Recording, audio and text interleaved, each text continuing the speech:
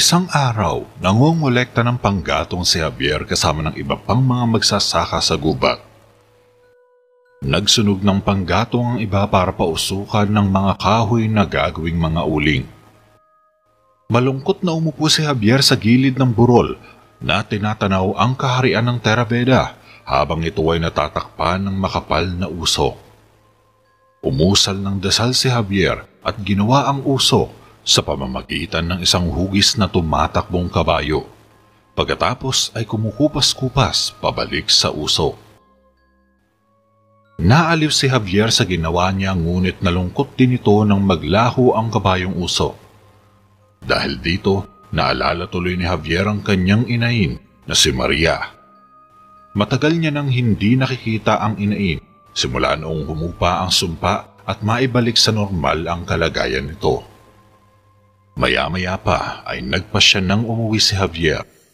Pinulot niya ang mga panggatong na nilapag niya sa lupa at nagsimulang tumayo. Subalit may babaeng tumakbo papunta sa kanya at niyakap siya. Nakita mo ba? Tanong ni Cecil at parang takot na takot ito. Ang usok, nakita mo ba? Hindi, wala akong nakita. Tanggi ni Javier. Bulag ka ba? Nandito ka. Kaya nakita mo rin. Ito'y gawa ng mahika. Sinasabi ko sa iyo. May salamangkero dito. Dapat nating sabihin sa hari. Tumakbo si Cecil upang isumbong sa palasyo ang nakita. Nataranta naman si Javier at tinabol ang babaeng magsasaka. Hindi! Teka! Sigaw pa ni Javier, subalit nakatakbo na palayo ang babae. Makaraan ng ilang sandali, makikitang nakatayo na si Cecil sa harap ng hari habang nakaupo naman sa trono sina Prinsipe Jericho at Prinsesa Raya. Nakapaligid naman sa kanya ang buong royal court habang nasa sulok lang sina Mang Rigor at Javier. Natahimik lang din na nakikinig. Ang iyong nakita ba ay isang uri ng pangkukulam at sigurado dito? Tanong ni Haring Argo sa babaeng magsasaka. Opo kamahalan, kitang-kita po ito ng dalawang mata ko. Sagot ni Cecil. Nasa tabi lang niya ang isang kabalyero na siyang pinagsabihan niya para ipabatid sa hari ang kanyang nakita sa kakahuyan. At isinusumpa mo ba ito sa harap ng iyong hari? Kasunod na tanong ni Haring Argo. Isinusumpa ko po. Tugon ni Cecil. Marahil ay niloloko ka lang ng iyong mga mata. Isang daya ng liwanag. Sabat ni Jericho. Ang usok ay buhay at gumagalaw. Sinasabi ko sa inyo, totoong nakita ko at natatakot ako para sa aking sarili. Pagdidiin ni Cecil habang nanginginig ang kanyang boses. Nagpapasalamat ako sa pagbigay nito sa aking atensyon. Ang iyong katapatan na hindi mawawala ng gantimbala. Wika naman ni Haring Argo at sumenyas ito sa tauhan. Salamat, kamahalan. Ang katabing kabalyero ang nag-escort kay Cecil palabas ng throne room. Hindi ito maaaring magpatuloy. Galit na sabi ni Haring Argo. Habulin ko ang responsable, Ama. Ipinapangako kung hindi sila makakatakas ng hindi napaparusahan. Pangako naman ni Jericho. Hindi. Hinihiling ko ang mas malakas na pamamaraan. Ipatawag ang mga ngaso ng mangkukulam Matigas na utos ng hari. Napabuntong hininga ang buong konseho. Kamahalan, kailangan bang gumawa ng mga ganitong hakbang?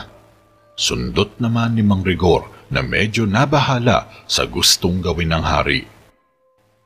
Ang mga ngaso namang kukulam ay isang pinagkakatiwalaang kaalyado. Ikaw, Rigor, ang kanya magiging tagatulong. Utos ng hari. Sis, siyempre.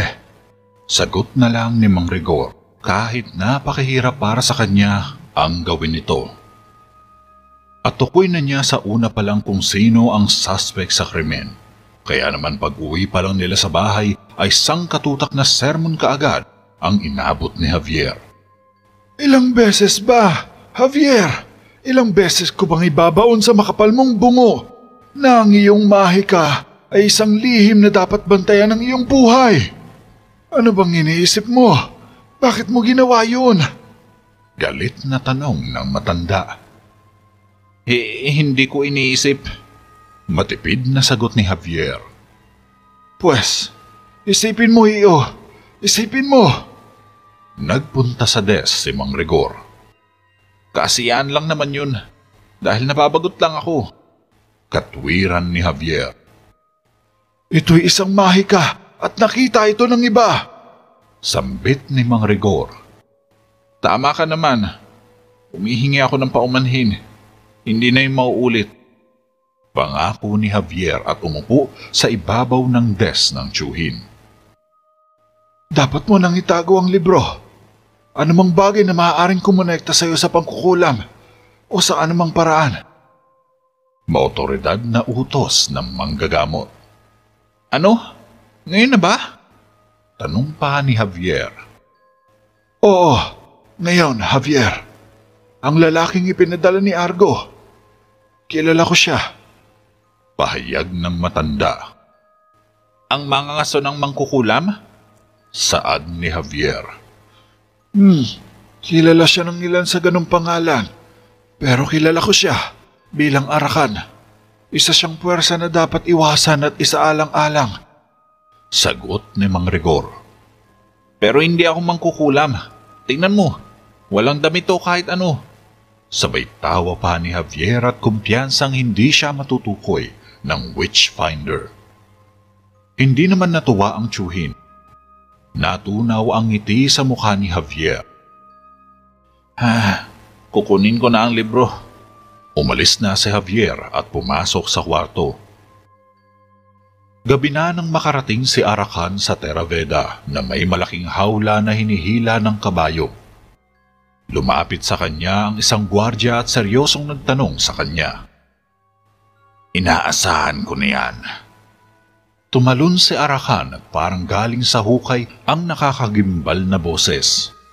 Nakasuot ito ng makapal at itim na trench coat at nakaitim na fedora hat.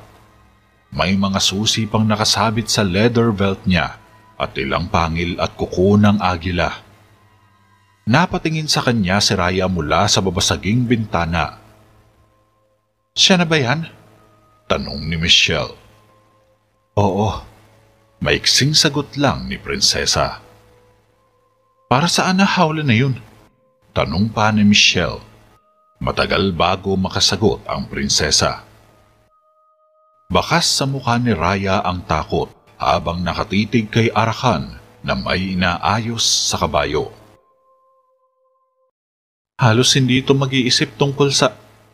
Napatingin si Arakan sa bintana at napabuntong hininga si Raya sa takot. Pumasok naman si Jericho at Haring Argo sa council chambers para pag-usapan ng tungkol sa witchfinder na kanilang inarkila sa pagtugis sa mangkukulam na namataan ng isang magsasaka sa gubat ng Terabeda. Sa katunayan, bihira lang na tumanggap ng trabaho si Arakan dahil abala ito sa ibang mga gawain bukod sa pangangaso ng mga mangkukulam.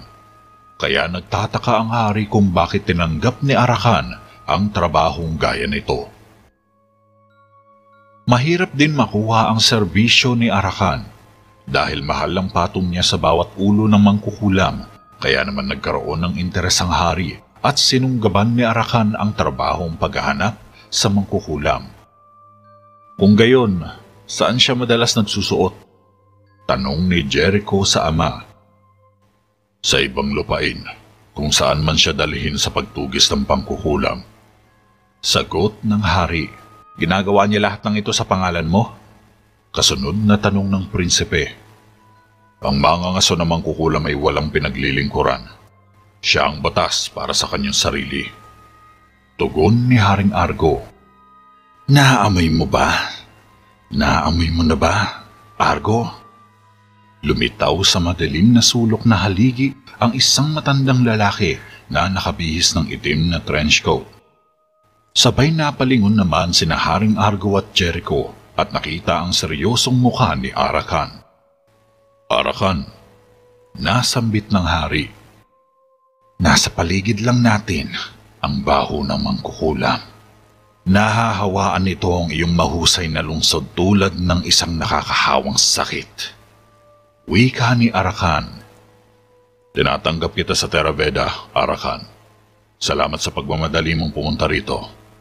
Pagpapasalamat ni Haring Argo, lumapit siya at kinamayan si Arakan. Bueno, sana hindi pa ako huli, hmm? Para sa bawat oras ay binibilang ko sa digmaan laban sa pangkukulang.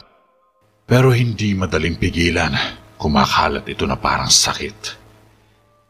Hinahanap nito ang bata at matanda. Ang mahina ay may kakayahan, ang makatarungan at ang masamang puso. Tinamad ka na ba, Argo? Napapansin ko na parang wala kang ginagawa. Ang iyong dating marangal na terabeda ay bulok na sa kaibuturan. Nakatayo ka sa bingit na madalim na limot. Mahabang lintaya ni Arakan. Kumakbang ang witchfinder at nilagpasan ang tulalang hari. Tumingin siya kay Jericho sabay talikod upang harapin muli ang hari. Nasa iyo ako, Arakan. Tutulungan ka na mga kabalyero ko sa anumang paraan na magagawa nila. Saad naman ni Jericho. Ikaw si Jericho, tama? Sambit ni Arakan. Oo, ako nga. Sagot ni Jericho. Isa kang mahusay na mandirigma. Kaya ang pinakamagandang kahariang ito ay nakilala. Turan pa ni Arakan. Salamat. Sabay nagbaw si Jericho. Kaya hindi ka masasaktan kapag sinabi kong hindi kita kailangan o ang iyong mga kabalyero. Ang banayad na kasanayan ng pangkukulam ay maaari lamang labanan sa pamamagitan din ng mas banayad na paraan mga pamamaraan na hinasa sa mga dekada ng pag-aaral. Mga pamamaraan na ako lamang ang nakakaalam. Wika ni Arakan. Kami ay nagpapasalamat dahil iyong tinanggap ang paghingi namin ng tulong. Wika naman ni Haring Argo. Ngunit ang pasasalamat lamang ay hindi kayang buhayin ng isang tao. Dapat mong ilagay ang pagkain sa kanyang tiyan. Makahulugang sabi ni Arakan. Babayaran ko ang iyong presyo, Arakan. Kahit ano man ito. Diretsyong sagot ng hari. Ha, magandang gabi sa inyo. Sabay ko ni Arakan at umalis na. Arakan, kailan ka magsisimula? Tanong pa ni Jericho. Napahinto si Arakan pero hindi siya lumingon kay Jericho. Nagsimula na ako. Matapit na sagot ng Witchfinder. Pagputok ng araw, tahimik na nakatitig si Arakan kina Mang Rigor at Javier mula sa isang sulok ng bahay habang naglalakad sila sa kalye ng Lower Town. Tinawag niya ang manggagamot at napalingon kaagad ang magtsuhin at nagulat si Mang Rigor nang makita ang Witchfinder. Rigor, hindi ba? Hindi ko makakalimutan ang isang mukha ng dalubhasa. Wika ni Arakan. Ganon din ako, Arakan. Sagot ni Mang Rigor. Isa ka ng manggagamot ngayon sa naririnig ko. Palagi ka raw nagkakaroon ng pagkauhaw sa kaalaman. Seryosong sabi ni Arakan. Pang-agam yun na kaalaman. Paglilinaw ni Mang Rigor Tinignan ni Arakan si Javier. Siyempre, sagot naman ni Arakan. Ang aking pamangkin at katulong, si Javier. Pakilala ni Mang Rigor sa pamangkin. Javier, sambit ni Arakan. Medyo kinabahan naman ang binata sa mainit na titig sa kanya ng witchfinder. Parang may kung anong ibig sabihin ang mga matang ito sa kanya. Umiwas ng tingin si Javier at di na sumagot. Naway maging mabunga ang iyong investigasyon, Arakan. Gayun pa man, ipagpaumanhin mo sana. Meron pa kaming dapat gawin. Paalam ni Mang Rigor. Tumalikod na sila ng pamangkin at umalis na. Natural Javier. Ani ni Arkan. Napalingon agad ang magtsuhin at parang namutla si Javier. Mayroon akong mga ilang katanungan na nais kong sagutin mo. Maaari bang pumunta ka sa aking silid sa loob ng isang oras? Tumangulang si Javier at umalis na sila ng tsuhin. Hinatid lang sila ng tanaw ng witchfinder. Makalipas ang isang oras, tinupad ni Javier ang paanyaya sa kanya ni Arakan. Naabutan niya nagsusulat sa sariling desk ang witchfinder gamit ang isang balahibo ng agila na nilulubog sa tintang nasa loob ng pinapyas na buto ng tao. Nakatayo lang si Javier sa harap ng desk. Matagal mo na bang alam na ang pangkukula may ginagawa sa paligid ng Teraveda? Seryosong tanong ni Arakan. Oo. Um, ibig kong sabihin, siguro. Hindi makapagsalita ng maayos si Javier sa kaba. Hindi, hindi. Hindi ito may tatanggi. May nakasaksi. Sambit ni Arakan. Oo, alam ko. Sagot ni Javier at naupo sa silya. Alam mo bang pinangalanan ka ng babae bilang saksi? Nagulat si Javier. Pero, tumigil sa pagsusulat si Arakan. Nakausap ko na siya. Medyo may malinaw siyang kaisipan mula sa bagay na iyon. Wika ni Arakan. Pero hindi ako naging saksi. Tanggi ni Javier.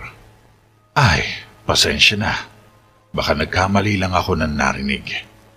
Itinatanggi mo ba na naroroon ka sa oras ng insidente? Tanong ni Arakan. Oo. Ay, hindi. Nandoon ako. Tugon ni Javier. Wes, kaya nakita mo rin ang kabayong pinasayaw mula sa usok. Tugtong ni Arakan. Nakita ko yung usok, pero ano, usok lang yun eh. Wala na ako nakitang iba. Sagot ni Javier. Sinasabi mo bang nagsisinungaling siya? Seryosong tanong ni Arakan. Hindi ko sinabi yun. Sabi ko, hindi ko nakita yung nakita niya. Paglilinaw ni Javier. Ha, Pwes, paano nangyari yun? Nakakapagtaka. Paano makikita ng isang tao ang isang bagay at ang isa ay hindi? Malumanay na sabi ni Arakan. Hindi ko maipaliwanag. Sambit ni Javier. Nalilito akong magpaliwanag sa sarili ko. Maliban kung ikaw ang nagsagawa ng mahika. Sarkastikong tumawa si Arakan sa sariling biro. Hindi ako. Kalmadong sagot ni Javier, subalit sa loob niya ay parang sasabog na siya sa kaba. Mapapatunayan mo bang hindi? Panunubok ni Arakan. Hindi nga. Maikling tugon ni Javier. Ha, yun na lang muna. Tumayo si Javier para umalis. Nagpatuloy naman sa ginagawa si Arakan. Sa ngayon, Dugtong pa ng witchfinder sabay tiningnan sa mata si Javier. Umiwas ang binata at lumabas na sa malaimpyernong silid na iyon. Inabukasan, iniharap ni Arakan ng tatlong babae sa harap ng korte bilang mga witnesses. Magsalita ka, huwag kang matakot. Utos ni Arakan sa babaeng saksi na si Bea na, nag-iigib ako ng tubig sa balon, kamahalan. Nang makita ko sila. Mga mukha sa tubig. Na nakakakilabot ang kanilang mga mukha. Parang mga taong nalunod. Sumisigaw. Sumisigaw. Nanginginig na sabi ng babae habang ito ay umiiyak. Hinawakan siya ni Arakan sa balikat at huminto kaagad si Bea. Wala akong ginawang ganun. Pangako. Bulong ni Javier sa tsuhin na habang nasa tabi lang sila at nakalaho sa mga taong nakikinig. Nagtataka din ito dahil wala man lang si Cecil sa mga babaeng witness na nakapila sa harapan ng hukuman. Sabihin mo sa kanila kung ano ang iyong nakita.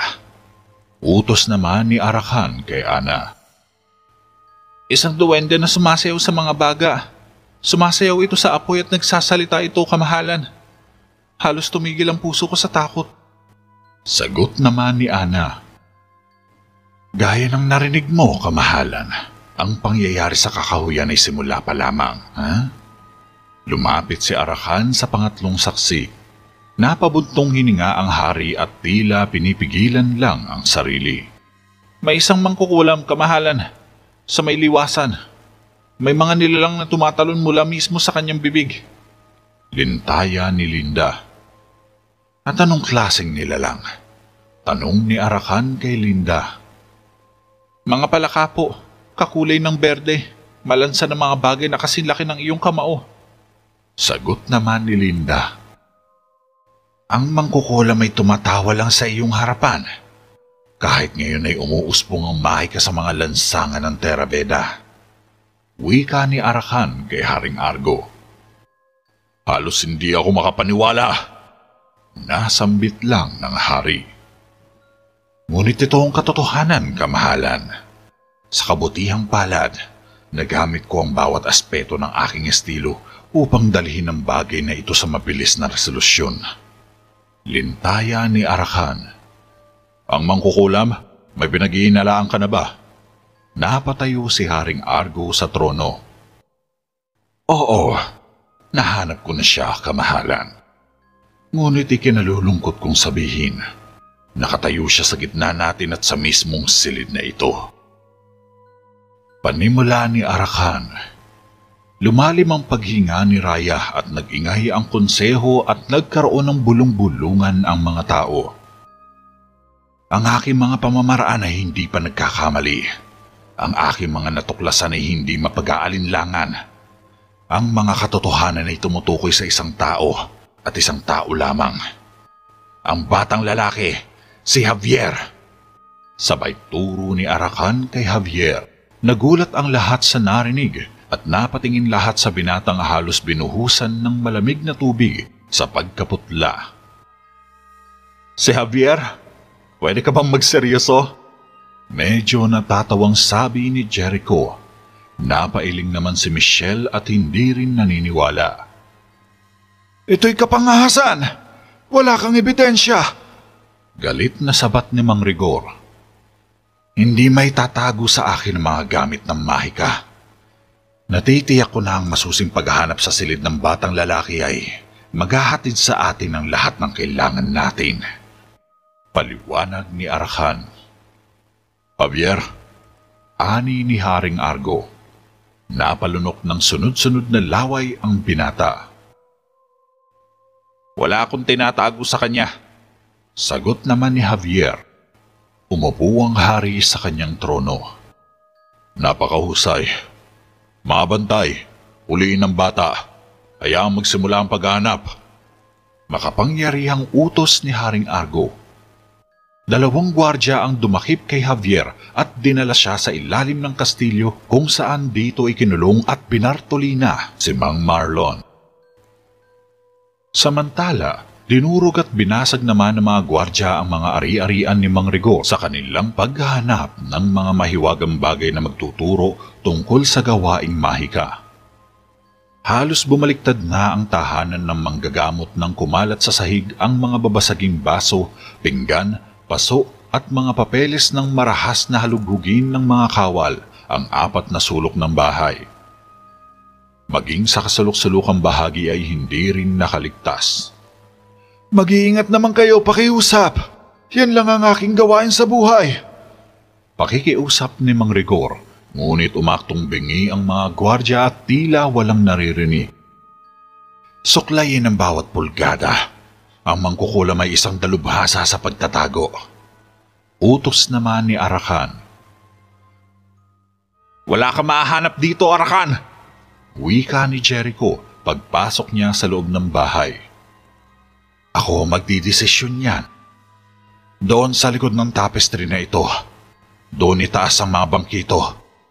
Siguraduhin suriin kung may mga guwang na binti. Doon sa mga bote ng pulbos na iyon. Sunod-sunod na utos ni Arakan.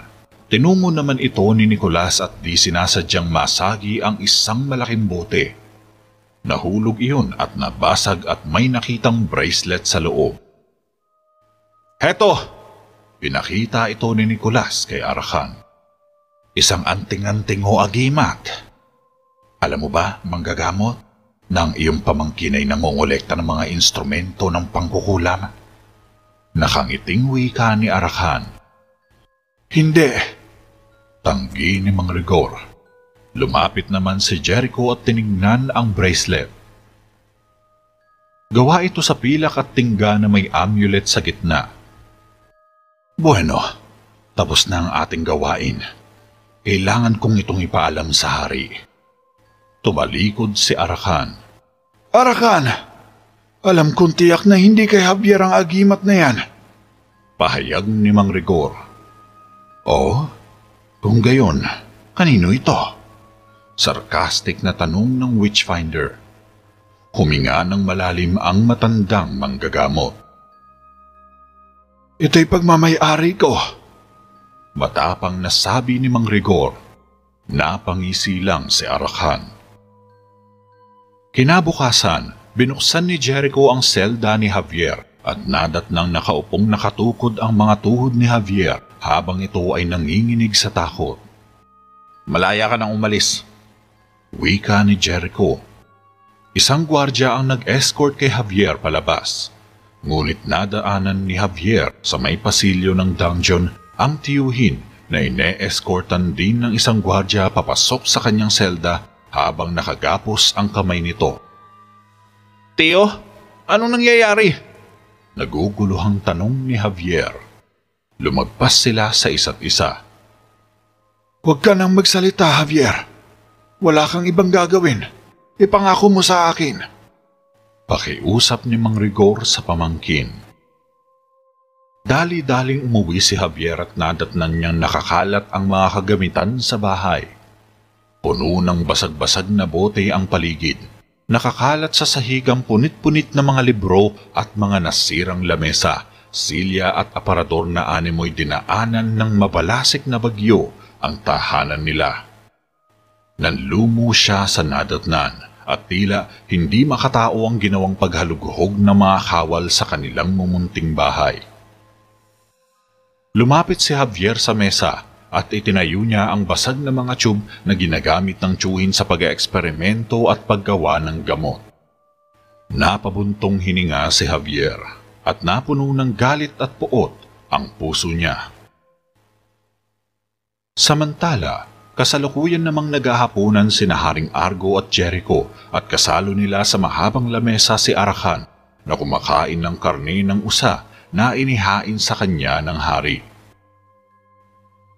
Pinaglilingkuran ako ni Mang Rigor ng walang humpay na dedikasyon. Kung wala ang kanyang kaalaman, ang kanyang karunungan, hindi ako nakaupo ngayon dito.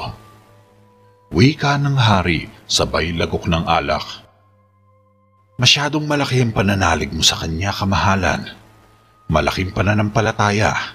Sa katunayan, hindi siya nararapat na isaalang-alang na nagsasagawa ng pangkukulam.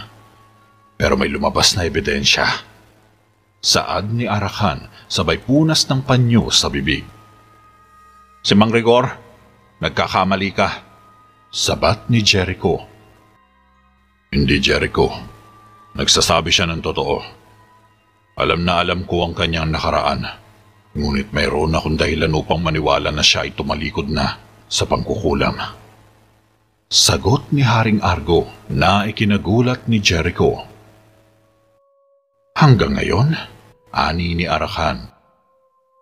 Hindi namin alam yon. At itong anting-anting na nakita mo, maaring ito ay isang hangal na pagkakamali lang. Sambit ni Haring Argo o baka bumalik na siya sa dating nakagawian. Wika ni Arakan. Dapat natin siyang bigyan ng benepisyo ng pagdududa. Tiyak yun. Mungkahi ni Jericho. Bakit? Sagot ni Arakan. Biglang natahimik ang prinsipe. Gayon pa man, merong isang tiyak na paraan upang itatag ang kanyang pagkakasala. Alam ko ang epektibo ang iyong pamamaraan, Arakan. Ngunit si Rigor ay matanda na. Hindi niya kayang tiisin ang ganoong pagtrato. Sabi naman ng hari, Ito ang tanging paraan para mawala ang pagdududa sa iyong isipan. Napaisip naman ang hari. Kumain ng karne si Arakan at uminom ng alak. Tinitigan niya si Haring Argo na tila ba may bumabagabag sa isipan nito. Kinabukasan, pinuntahan ni Arakan si Mang Rigor sa selda at binuhusan niya ng malamig na tubig ang natutulog na matanda.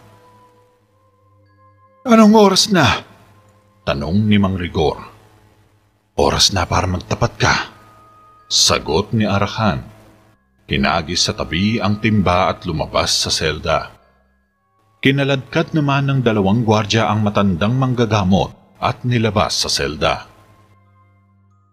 Ang anting-anting ay isang reliko mula sa nakaraan. Isang alaala. Wika ni Mang Rigor habang ito ay nakaupo na sa silya. Ngunit ang mga naturang bagay na iyon ay pinagbabawal sa sakit ng kamatayan. Tiyak, dapat mong malaman ito. Aning ni Arakan. Nagkamali akong ingatan ito. Humihingi ako ng paumanhin para dito. Sagot ni Mang Rigor. Kung gayon, magandang simula iyon. Ito ay isang mahusay na simula. Ngunit hindi pa sapat. Masama sa akin ito. Saad ni Arakan. Arakan, Sambit ni Mang Rigor. Mga gwardya! Sigaw ni Arakan. Inihagis ng mga gwardya si Mang Rigor pabalik sa kanyang selda. Pagkatapos ay paulit-ulit siyang tinanong ni Arakan sa loob na parang bingi. Malinis ba ang iyong konsensya noong nagsasanay ka ng mahika? Noong mga araw ng dakilang paglilinis? Tanong ni Arakan. hindi na ako gumamit ng mahika sa loob ng maraming taon. Sagot ni Mang Rigor. Pero ang iyong pamangkin ay nagsasagawa pala ng instrumentong pangkukulam. Wika ni Arakan. Gamit ko yun. Wala siyang kinalaman dito. Tugon ni Mang Rigor. Pero tinuruan mo siyang magsanay ng mahika? Kasunod na tanong ni Arakan. Hindi. Matapid na sagot ni Mang Rigor. Ikaw ay kaaway ng kahariang ito. Ikaw ay kaaway ng iyong hari. Ani ni Arakan na galit. Hindi. Malinis ang aking konsensya. Gusto kong uminom ng tubig. Pakiusap. Pakiusap ni Mang Rigor. Halatang nanunuyo na ang labi niya sa kawalang tubig buong magdamag. At magkakaroon ka nito kapag umamin ka na. Alok ni Arakan. Mas gusto kong mamatay na lang sa uhaw, Arakan. Tugon ni Mang Rigor. Nagkibit balikat lang si Arakan. Sa sumunod na gabi, nakita ni Javier si Mang Rigor na kinakaladkad palabas ng kanyang selda. Pumunta si Javier sa kuweba ng dragon para humingi ng tulong dito. Anong problema, batang mang tatawas? Napakaputla mo. Wika ni Gamora. May ginawa akong katangahan. Bobo, tanga. At ngayon ang chewin ko ang magbabayad para dito. Sagot ni Javier. Pero walang kahulugan sa akin si Rigor. Sambit ni Gamora. Mabilis na nainsulto si Javier. Malaki ang kahulugan niya sa akin. Galit na sabi ni Javier. Napakahusay. Sabihin mo sa akin kung ano ang nangyari. Ani ni Gamora. Isang mangangaso ng mangkukulam ang dumating. Inaresto niya si Tio dahil umano sa pangkukulam. Ngunit ako ang tunay na salamangkero. Salaysay ni Javier. Tama. Sa palagay ko nga ikaw yun. Anas ni Gamora. Pwes, aamin na ako. Ito lang ang paraan para mailigtas siya. Saad ni Javier. Kung gayon, pinagpapatuloy mo pa rin ang katangahan mo. Sarcastic na sabi ni Gamora. Hindi ako magsasakripisyo ng pamilya para iligtas ang sarili ko. Matigas na sabi ni Javier. Matapang magsalita, ngunit si Rigor ay napapahamak na. Kung aaminin mo ito, susunugin lang kayong dalawa ng mga ngasong iyon. Turan ni Gamora. Pero ako naman talaga ang may kasalanan. Hindi mo ba naintindihan? Wika naman ni Javier. Magaling, batang mangtatawas. Ngunit unawain mo ito. Kung mamamatay ka, ilalagay mo lang sa panganib ang buhay ng lahat ng umaasa sa iyo. Makahulugang sagot ni Gamora. Pwes, dapat may magagawa ako. Dapat meron. Tulungan mo ako. Pakiusap ni Javier.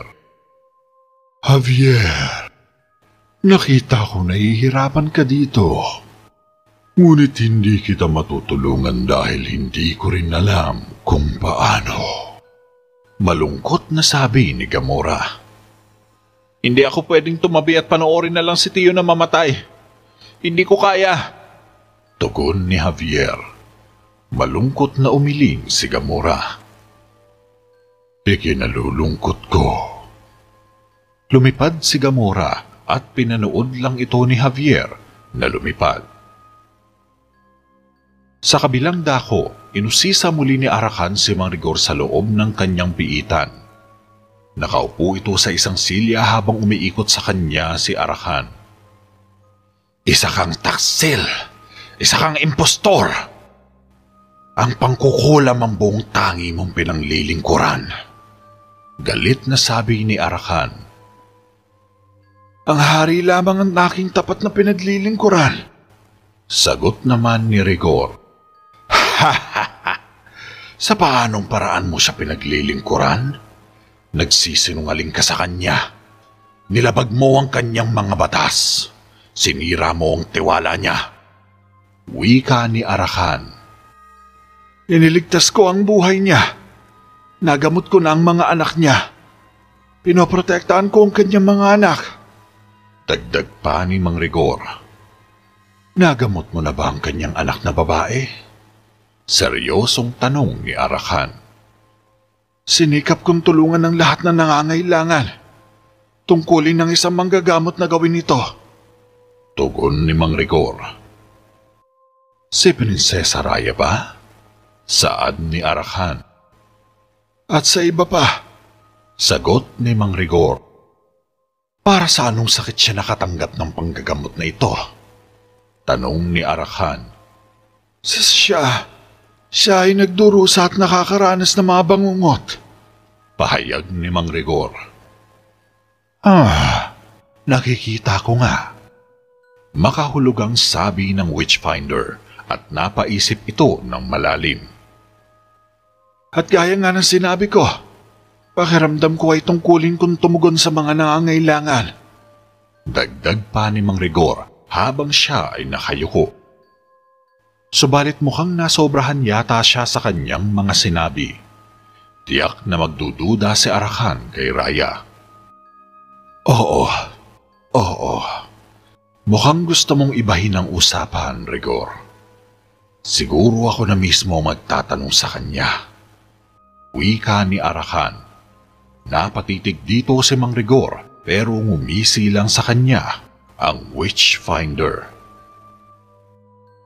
Isang gabi, biglang nagising si Mang Rigor. Bumangon siya at nakita niyang malungkot ang mukha ni Raya habang ito ay dinadala sa isang silid sa mga piitan kung saan dito siya inimbestigahan ni Arakan at si Javier. Pagpasok ni Raya sa kwarto, Nabungaran niya kaagad si Arakan na hinihilera ang iba't ibang tools at equipments na nakalapag sa mesa. Kitang inaayos ni Arakan ang isang neck cuffs at itinabi iyon sa stance baton, belts, spike baton at Iron Maiden na ginagamit ng Witchfinder sa pangtotorture sa mga nauhuling mangkukulam. Pinaupo ni Arakan si Raya sa restraint chairs na katabi ng kanyang desk. Hindi mo na kailangan mag-alala, prinsesa. Hindi kita ikukulong ng matagal. May maliit lang na detalye na nais kong linawin. Ngayon, totoo bang nakatatanggap ka ng gamot ni Rigor para sa mga bangungot? Umupo si Arakan sa sariling desk at tumango naman si Raya. At si Rigor ang doktor ng hukuman. Siya ba ang nagsagawa ng mga paggamot na ito? Ang potion na ito? Dagdag pa ni Arakan. Oo, Mahinang sabi ni Raya. Pasensya na. Pwede bang lakasan mo magsalita? Kumuha ng panulat si Arakan at tinusok sa paintang tinapyas na bungo ng tao. oo. Maikling sagot ni Raya. Salamat. Ngayon, maaari kang umalis. Wika ni Arakan. Napangiti si Raya ng maluwag at tumayo na para umalis. Sa palagay ko, hindi mo alam kung ano ang laman ng mga potion na ito, di ba? Sambit ni Arakan. Napahinto ang prinsesa sa pinto. Ay, hindi.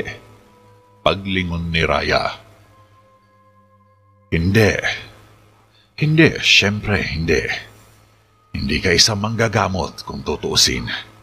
Kaya, para sa lahat ng alam mo, ang mga potion na ito ay maaaring nakapagtataka. Ang iyong mga bangungot ay produkto lang ng isang potion na elixir, tama ba? Pahayag ni Arakan. Oh, napapanaginipan ko ito bago ako simulang gamutin ni Mang Rigor. Tugon ni Raya. Ngunit ang mga panaginip na ito, bumuti ba o lumala ang mga ito mula nang simulan kang gamutin ni Rigor? Seryosong tanong ni Arakan. Sandaling natigilan si Raya. Mas malala. Matipid na sagot niya. Gaya ng iniisip ko. Salamat. Ikaw ay lubos na nakatulong. Nakangiting wika ni Arakan. Kinabukasan, kinausap muli ni Arakan si Mang Rigor sa kanyang selda. Kinikiliti ni Arakan gamit ang daliri ang pulso sa kamay ni Mang Rigor habang ito ay natutulog sa manipis na sapin na nakahilata sa sementong sahig. Rigor, handa ka na bang umamin? Nakangiting sabi ni Arakan.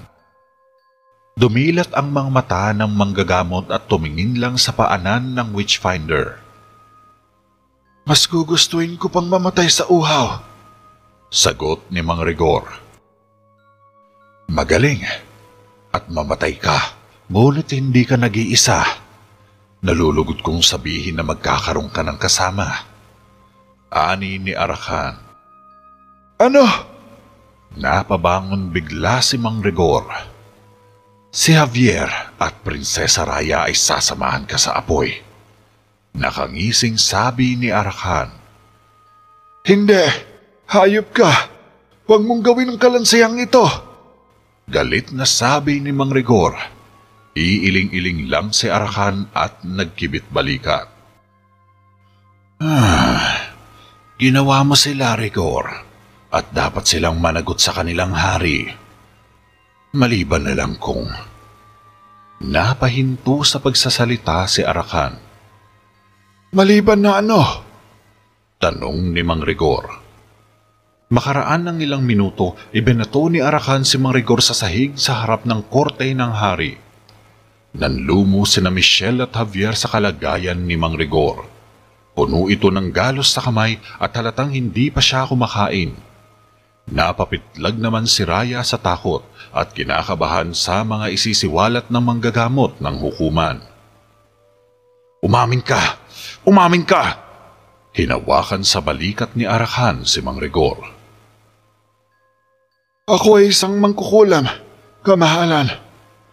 Ako ang may pananagutan sa pagmumuni-muni ng usok. Ako ang nagkasala sa pagsasanay ng mahika sa Terabeda. Ang duwende. Ang mga mukha sa balon. Ako yon. Ako ang mangkukulam na nagpalabas ng palaka mula sa bibig. Pagbubulgar ni Mang Rigor na ikinagulat ng marami, lalo na ng hari. Pinagtaksilan mo ko, Rigor. Nagtaksil ka sa iyong kaibigan. At higit sa lahat, pinagtaksilan mo ang sarili mo. Ayon sa mga batas ng Terabeda, kailangan kitang hatulan ng kamatayan. Matigas na sabi ni Haring Argo. Ang mangkukulam ay mapupuksan ng kanyang mahika sa pamamagitan ng apoy. Siya ay susunugin sa tulos. Bukas na madaling araw. Magpatotoo at makinig sa araling ito. Wika ni Arakan sa harap ng korte. Kinaladkad ng mga gwardya si Mang Rigor palabas ng silid. Subalit biglang kumilos si Javier at sinugod si Arakan. Sinungaling ka! Galit na sigaw ni Javier. Tumayo sa trono si Jericho at pinigilan ang binata. Kinaladkad niya ito palabas ng kwarto. Mga kawal! Sigaw naman ng hari. Sinungaling ka! Sigaw muli ni Javier. Sumenyas naman si Jericho sa mga gwardya. Ako na ang bahala sa kanya. Dinala ni Jericho si Javier sa dungeon sa ilalim ng kastilyo at binitiwan ang nag-aamok na binata. Hinampas ito ni Javier pero hinawakan ni Jericho ang braso niya at pinaikot iyon sa likod niya. Ah! Namilipit sa sakit si Javier. Alam kong masama ang loob mo. Alam kong galit ka. Ayos lang, hindi kita ipapakulong. Sambit ni Jericho. Eh ano sa tingin mong ginagawa mo? Tanong ni Javier. Binitiwan siya kaagad ni Jericho. Lumalabag ako sa batas. Wika ni Jericho at binuksan ng selda ni Mang Rigor. Ilang minuto lang ang may bibigay ko sa'yo. Sambit pa ni Jericho. Pumasok naman sa loob si Javier at kinausap niya ang tsuhin. Hindi nila ako hinahayaang makita ka. Wala akong magawa. Medyo naiiyak si Javier. Alam ko. Naiintindihan ko. Ani ni Mang Rigor. Hindi ako makapaniwala.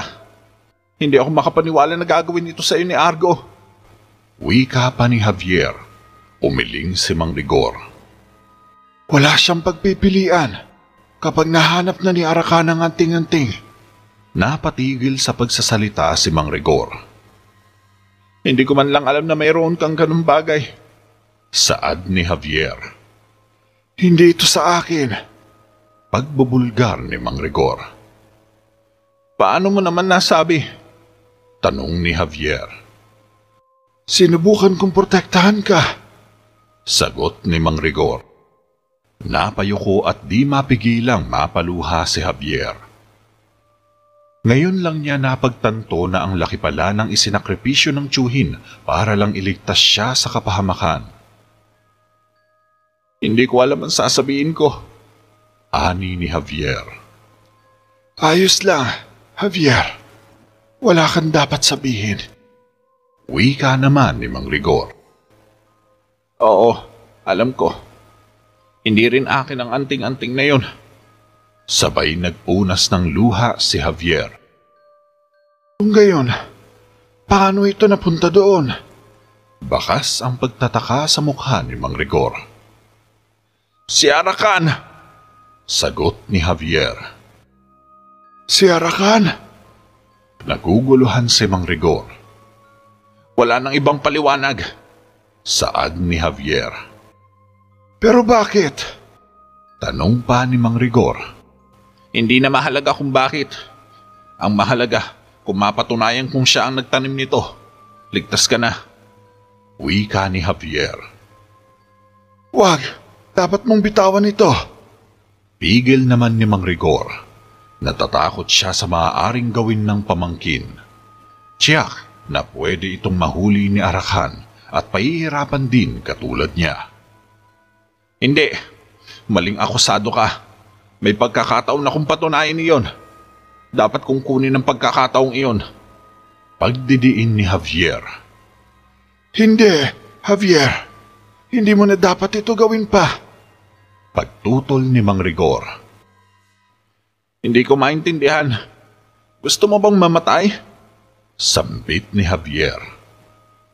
Hindi. Ngunit tayo ko ring mamatay ka. At tiyak na mamamatay ka kung masyado ka malapit kay Arakan. Bibitagin ka niya, Javier. Maaari ka niyang manipulahin.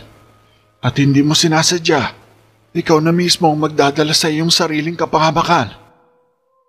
Dapat mong pabayaan ito. Sambit ni Mang Rigor. Dapat bakit ang bitawan? Anas ni Javier. Ang gagawin mo ay hindi isang pagsagip, kundi isang gawa ng pagpapakamatay. Paliwanag ni Mang Rigor. Pero umaling lang si Javier. Mukhang buo na ang loob niya na kahit ano pang sabihin ng tiyuhin ay ililigtas niya pa rin ito sa abot ng kanyang makakaya kahit buhay niya pa ang maging kabayaran.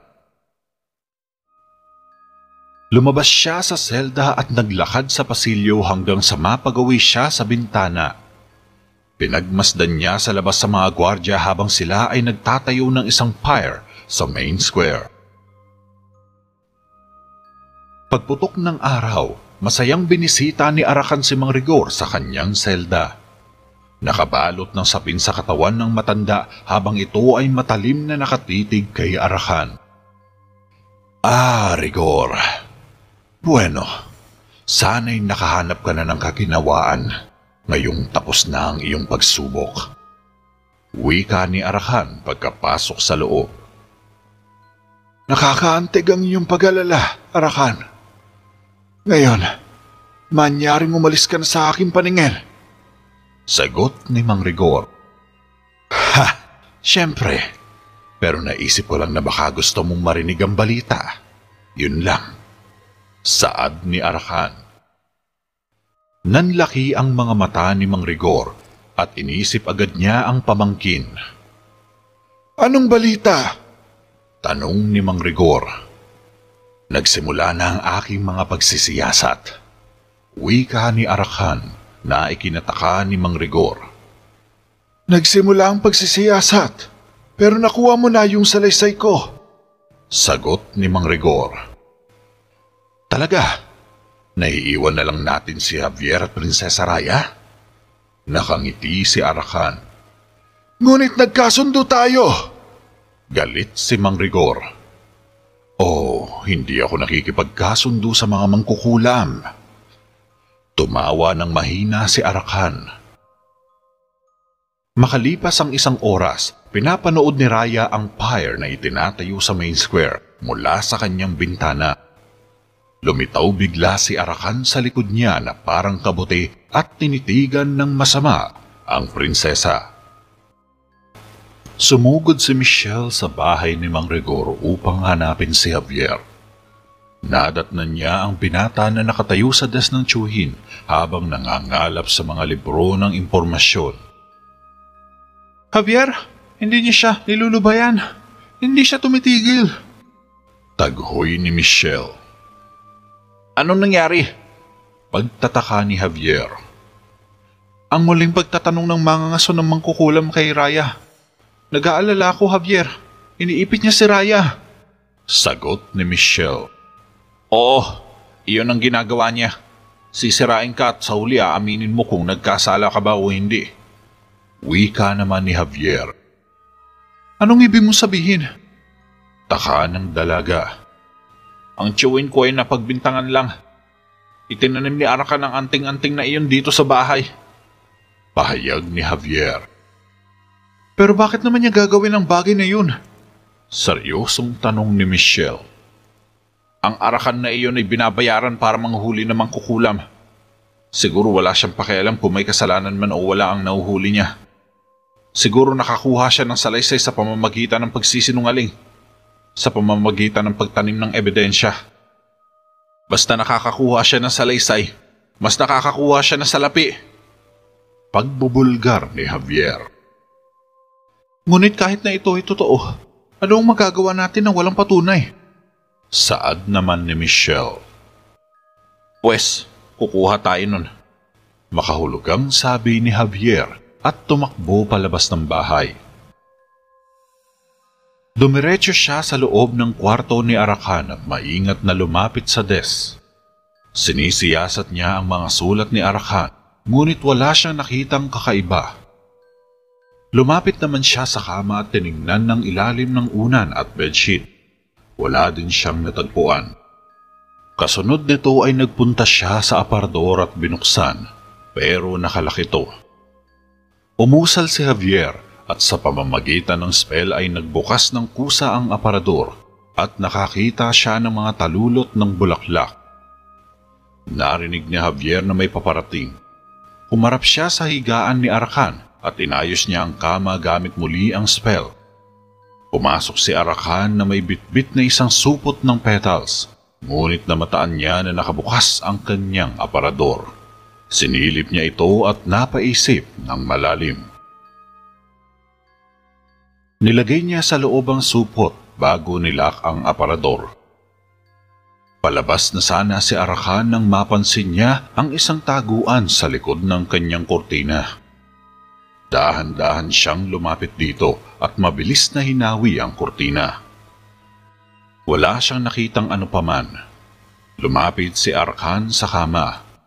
Doon siya tumayo at pinagmasdan ng apat na sulok ng kanyang kwarto. Halatang gigil na gigil sa dagang pumasok, samantalang nasa ilalim lang ng kanyang kama ang dagang hinahanap niya. Lumabas sa kwarto si Arakan at saka pa lang nakalabas sa ilalim ng kama si Javier. Dali-dali siyang tumakbo sa bahay at naghalongkat ng mga libro. Tinulungan naman siya ni Michelle na maghanap, ngunit kalahating oras na ang nakakalipas ay bigo pa rin sila na makakita ng anuman na makakapagkonekta kay Arakan. Wala rin say-say ito. Wika ni Michelle. Patuloy ka lang maganap. Utos ni Javier. Ni hindi natin alam kung may ibig sabihin ba ang bulaklak na ito. Sambit ni Michelle. Hindi, ngunit ito lang ang mayroon tayo. Patuloy na nagbubuklat si Javier sa isang libro at di kalaunan ay may namataan siyang katagang Belladonna. Ito, nakita ko na. Para sa pagpapagaan ng mga ulcer, alipunga at pamamaga ng kalamnan. Basa ni Javier. Wala rin tayong pag-asa, Javier. Wika ni Michelle pero hindi ito pinansin ni Javier. Hindi, teka, makinig ka. Sa ilalim ng ilang mga kondisyon, sino man ang makulayan ng bulaklak ay maaaring makalikha ng mga imahinasyon at guni-guni. Patuloy ni Javier. Oh, anong meron dyan? Tanong ni Michelle. Yung mga saksi ni Arakan, hindi mahika ang kanilang nakita. Ito ay mga pangitain lamang. Sagot ni Javier. Makatwiran nga. Mukhang pinike nga niya ang ebidensya. Ngunit paano naman natin patutunayan sa konseho? Saad ng dalaga. Hindi. Masyadong matalino si Arakan para direktang ibigay sa kanila ang talulot ng bulaklak. Ang mga saksi. Ang mga saksi. Tiyak na nakuha nila ito sa iba. Teorya pa ni Javier. Maaaring nakuha nila ito mula sa sinuman. Banggit naman ni Michelle. Meron ka bang napapansin bagay na magkakatulad sa mga taong ito? Seryosong tanong ni Javier kay Michelle. Babae silang lahat? Sagot ng dalaga. Hindi, mali. Mag-isip ka pa. Wika ni Javier. Oo, tama ka. Ngunit ano ang isang bagay na binibili lamang ng mga babae? Mga bagay na magpapaganda sa kanil. Napatigil sa pagsasalita si Michelle at nagkatinginan sila ni Javier. Mabilis na tumakbo si na Javier at Michelle sa labas ng bahay at kumaripas sila sa lower town sa kalagitnaan ng gabi. Kumatok sila sa isang pinto ng bahay at bumungad sa kanila ang isang matandang lalaki na may dalang kandila. Mukhang kakagising pa lang nito at kinikilatis pang maigi ang bisita. Michelle? Gulat pa ng matanda. Sumenyas ito at pumasok agad si na Michelle. Pagdating sa loob ay tumambad sa kanila ang iba't ibang uri ng halaman at mga bulaklak na nakasilid lahat sa mga bote at garapon. May iilan din silang nakikitang pulbura at mga herbal na maayos lang nakalapag sa mahabang lamesa. Nagbebenta ka ba ng talulot ng belladonna? Walang paligoy-ligoy na tanong ni Michelle. Para saan ang usisang ito? Anang ng matanda. Pakiusap, Apo Lakay. Ito'y mahalaga malaman namin. Pakiusap ng dalaga. Bueno, meron akong nakaimbak na ganun. Pero kung ano ang gusto mong gawin sa mga mata mo sa kalagitnaan ng gabi, ay ayoko talaga malaman. Wika ni Apolakay at inabot kay Michelle ang isang bote ng eye drops. Patak ng mata? Sambit ni Michelle. Oo, ginagamit ng mga babae ang mga ito para pagandahin ang kanilang mga mata. Paliwanag ni Apolakay. Saan mo nakuha ito? Sabat naman ni Javier. Um, sa aking mga karaniwang suki. Sagot ni Apolakay. Pero hindi ito makatingin ng diretsyo kay Javier kaya biglang nagduda ang binata. Siguradong hindi mo to nakuha sa iba? Tanong pa ni Javier. Siyempre, sigurado ako. Kung ayos lang sa inyo, gusto ko na matulog. Lumakad si Apolakay, subalit pinigilan ito ni Michelle.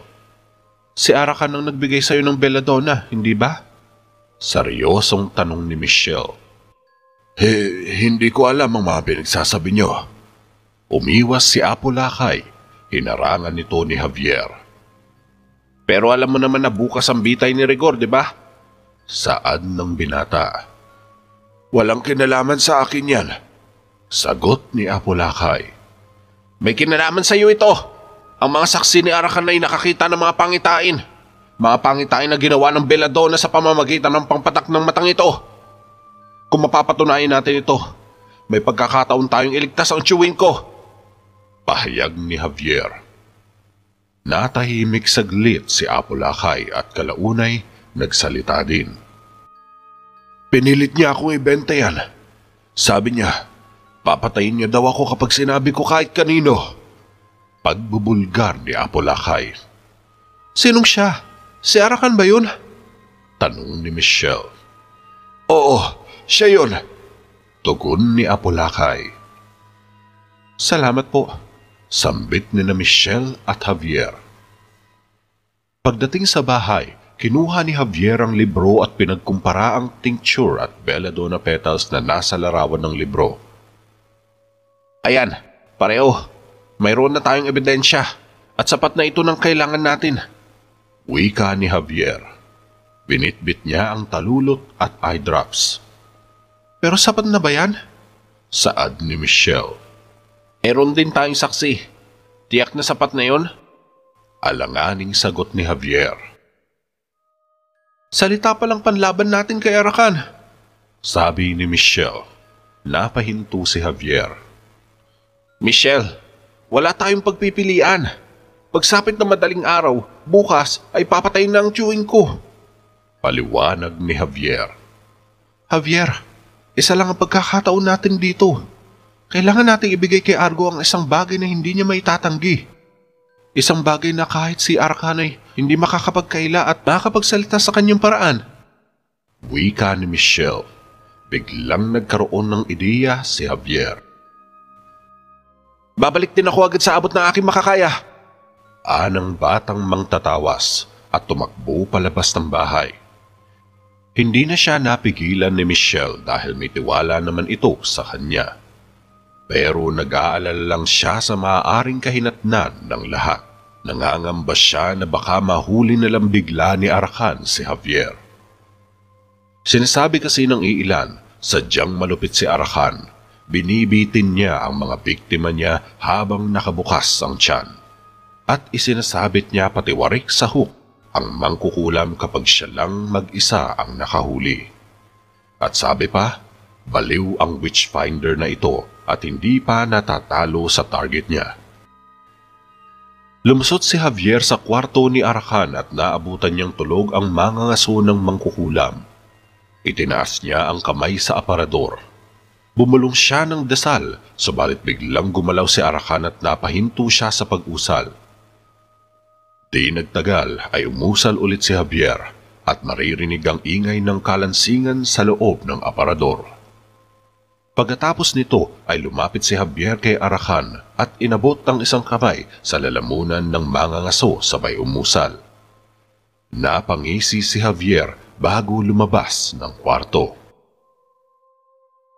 Kinabukasan, nagising si Mang Rigor sa sikat ng araw na lumusot sa kanyang selda. Tumingin siya sa itaas at nakita ang senyales na magdadala sa kanya sa hukay sa malagim na paraan. Dumating na ang takdang araw ng pagbitay sa kanya sa pamamagitan ng pagsunog ng buhay sa kanya. Nakita din ni Michelle ang pagsikat ng araw mula sa bintana ng bahay ni Mang Rigor. Naghihisterikal na siya sa kakahintay kay Javier. Bilisan mo, Javier! Bilisan mo na! Bulong ni Michelle na may bahid ng pag-aalala sa isipan. Naghahanda na rin si Arakan sa kanyang kwarto. Nakabihis ito ng itim na trench coat at sinusubukang i-clear ang kanyang lalamunan. Dahil pakiramdam niya ay tila may kung anong nakapara dito. Uminom siya ng tubig at ilang sandali pa ay guminhawa rin ng pakiramdam niya. Sinundo niya si Mang Rigor mula sa mga silid ng piitan sa ilalim ng kastilyo. Magandang umaga, Rigor! Nakangiting bati ni Arakan. Sumenyas siya sa mga gwardya at hinila nila si Mang Rigor palabas ng kanyang selda. Samantala, kakapasok naman ni Javier sa bahay at sinalubong agad siya ni Michelle. Javier, saan ka nang galing? Akala ko nahuli ka na. Pagkaalala ni Michelle habang namumula ang mga mata na halatang umiyak. Tapos na. Nagawa ko na ang lahat. Sagot ni Javier habang ito ay hinihingal pa. Pero huli na ang lahat. Nakaalis na si Mang Rigor sa piitan. Wika ni Michelle. Kung gayon, kung gayon, kailangan nating iantala ang pagpapatupad. Sambit ni Javier. Paano? Tanong naman ni Michelle. Si Jericho, kakausapin ko si Jericho. Lumabas si Javier pero pinigilan siya ng dalaga. Hindi, ipaubaya mo na siya sa akin. Mungkahi ni Michelle, tumangulang si Javier.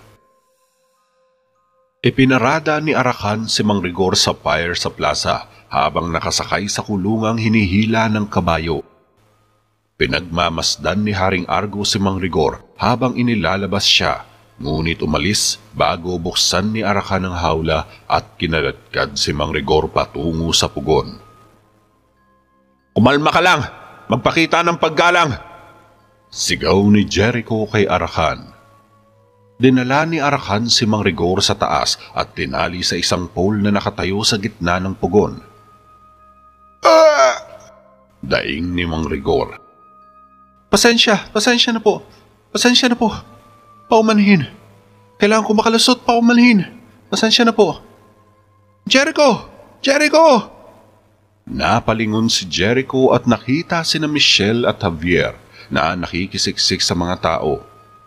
Jericho, itigil mo na to! Pakiusap ni Michelle.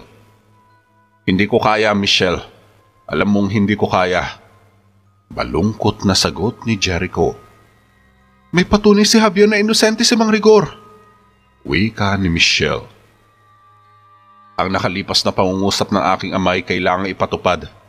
Wala na akong magagawa pa. Tugon ni Jericho. Magagawa mong tama, Jericho Mondragon. Maaari ka magpakita ng ilang pananampalataya sa isang tapat na kaibigan. O maaari kang tumayo at panuorin ng isang inosenteng tao na mamatay. Mahabang lintaya ng dalaga. Napatingin ng seryoso si Jericho kay Michelle at napabuga ng hangin. Ah, Michelle, nasambit lang ni Jericho. Nangyari na ito minsan sa aking ama. Gusto mo rin ba itong mangyari ulit? At tigilan mo ako sa kakatitig ng ganyan. Alam kong utusan lang ako. Akala ko ba'y ika isang tunay na prinsipe? Ipakita mo sa amin ito. Kaya mong simulan ng pag-uugaling tulad ng ginagawa mo. Wika ni Michelle. Isinuot ni Araka ng isang itim na apron at ibinaba ang salo para sindihan ang fire. Bumaling dito si Jericho. Teka! Pigil ni Jericho kay Arakan. Sa loob ng throne room, nakatayo na sa harap ng korte si Javier habang isinasalaysay niya sa hari pa isa-isa ang ebidensya at mga impormasyong naalakap niya kay Arakan. Nakaupo lang si na Jericho at Raya sa trono, samantalang nakatayo lang din si Michelle sa likod ni Javier. Naroon rin sa loob ang buong konseho at kasama ang mga saksing babae ni Arakan.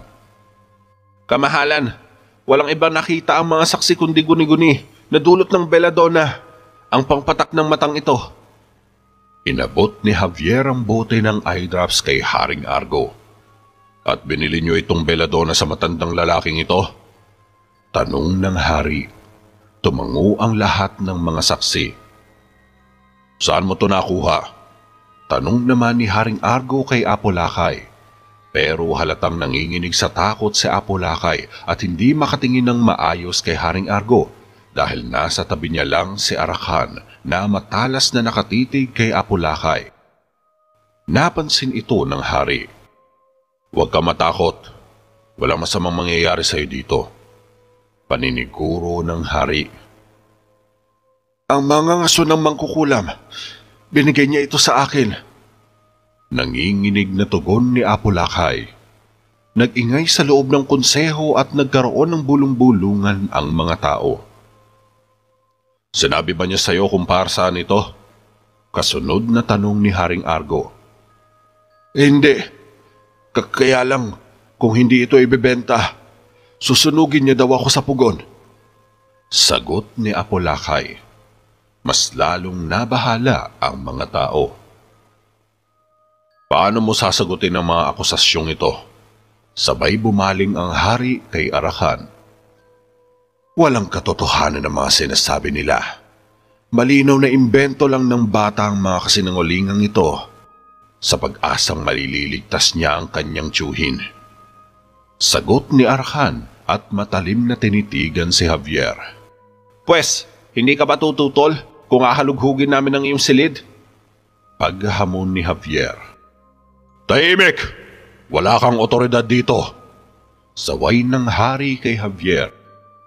Lumapit naman si Jericho kay Javier at humarap siya sa amang hari. Ama, hayaan mong ayusin natin ito sa pamamagitan ng sibilisadong paraan. Kung mali ang sinasabi ni Javier, dapat niyang tiisin ang kahihinatnan nito. Pero kung may katotohanan man ang mga sinasabi niya, Tumingin si Jericho kay Arakan na naka-cross arm lang sa tabi. Kampante at tila malakas ang kumpiyansa sa sarili na walang itinatago. Wala akong dapat itago. Sagot ni Arakan. Ngumiti lang si Javier. Pagdating nila sa silid ni Arakan ay pinapanood lang ni Naharing Argo, Jericho, Raya at Javier ang mga gwardya na nag-ahagis ng mga gamit sa silid Hinalungkat nila ang anumang ebidensya na magtuturo kay Arakan na nagsisinungaling ito. Nagsasayang lang kayo ng oras. Wika ni Arakan. Naghalugog pa ang mga gwardya sa kama at maging sa mga kagamitan ni Arakan ay hindi pinalagpas at chinecheck ito ng maigi. Ang aparador doon, tingnan nyo! Utos ni Jericho. Pinuntahan ng isang gwardya ang aparador at binuksan. Mabilis na nangahulog ang dose-dose ng mga anting-anting at isang imbak ng tincture ng belladonna na nasa loob. Ang mga bagay na ito ay hindi ko pag-aari. Ito ay isang kahangalan. Napaubo si Arakan at tila na nakit ang kanyang lalamunan. Ang batang yun ang may pakana nito. Sinubukan ni Arakan na abutin si Javier subalit nagluwa ito ng isang palaka. Nagimbal ang mag-aamang maharlika at napangiti naman si Javier sa tabi. Sa wakas ay nasa kote niya rin si Arakan sa harap mismo ng hari. Ngayon ay wala na itong mailulusot pa. Mangkukulam! Wika ni Haring Argo. Kumuha ng dagger si Arakan at hinostage si Prinsesa Raya. Tinutok niya ang punyal sa leeg ni Raya. Nag-alala ng lubos si Haring Argo. Arakan, pag-isipan mong mabuti ang iyong ginagawa. Hinding-hindi ka rin makakalabas mula sa Terraveda ng buhay. Anang ng hari, sabay humugot ng espada. Bumunot din ng espada ang mga kawal at gayon din si Jericho. Dahan-dahan nilang nilapitan si Arakan at sinusubukang kumbinsihin na bitawan si Raya. Tumabi naman si Javier sa may pinto at pinanood lang muna ang susunod na eksena. Gagawin ko kung paahalagan mo ang buhay ng iyong anak. Ha? Wika pa ni Arakan. Hinawakan ni Raya ang braso ni Arakan at sinamantala ito ni Javier. Dito na siya kumilos. Bumulong siya ng spell. Nag-init bigla ang hawakan ng punyal at nalaglag ito ni Arakan sa sahig. Napaatras ito sa sakit. Ah! Daing ni Arakan at hinawakan ang kamay. Nakawala naman si Raya mula kay Arakan.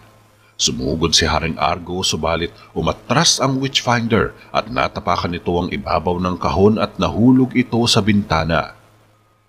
Ah! Mahabang sigaw ni Arakan habang ito ay mabilis na bumabagsak sa lupa. Pah! Tumama ang ulo ni Arakan sa matulis na bato at nabiyak ang kanyang bungo. Kumalat ang dugo niya sa lupa. Nagkalasog-lasog naman ang mga buto niya sa katawan. Napadungaw agad sina Haring Argo at Jericho sa bintana at nanlumo sila sa sinapit ni Arakan. Halos hindi na makilala ang kanyang itsura mula sa malagim na sinapit. Isang araw, binisita ni Haring Argo ang tahanan ni Mang Rigor at nadatnan niya ang manggagamot na nililinis ang kalat na ginawa ng mga gwardya. Pumasok sa loob ang hari. Rigor, natutuwa ko na tagpuan kita rito. Nahihiyang sabi ni Haring Argo. Gaya ko rin, kamahalan. Akala ko hindi ko na makikita ang silid na ito. Wika ni Mang Rigor at nakaramdam ng konsensya si Haring Argo. Kung may nasira sa paghahanap, ikalulugod kong palitan ito. Alok pa ng hari. Napakabait mo, kamahalan. Sagot ni Mang Rigor habang nililigpit ang punit-punit na mga papeles sa mesa. Si Arakan, halos hindi pa rin ako makapaniwala na isa siyang mangkukulam. Saad ni Haring Argo. Talaga? May dahilan ba na gusto mo akong makita? Tanong ng manggagamo. Oo, meron. Eh, gusto kong sabihin na pasensya na kung nagdusa ka sa kanya mga kamay. Taos pusong paghingi ng tawad ng hari. Ngunit hindi ako nagdusa sa kanyang mga kamay. Argo, nagdusa ako sa'yo. Siya ay nagtrabaho para sa'yo, kamahalan. Sinusunod lang niya ang utos mo. Sambit ni Mang Rigor na may bahid ng panunumba. Pero niloko niya ako. Katwiran naman ni Haring Argo. Hindi. Matagal ka nang nalinlang bago kay Arakan. Dahil niloloko mo lang ang iyong sarili. Nakikita mo ang mga kaaway kung saan may mga kaibigan. Nakikita mo ang mamang kukulam kung saan mayroon kang mga katulong.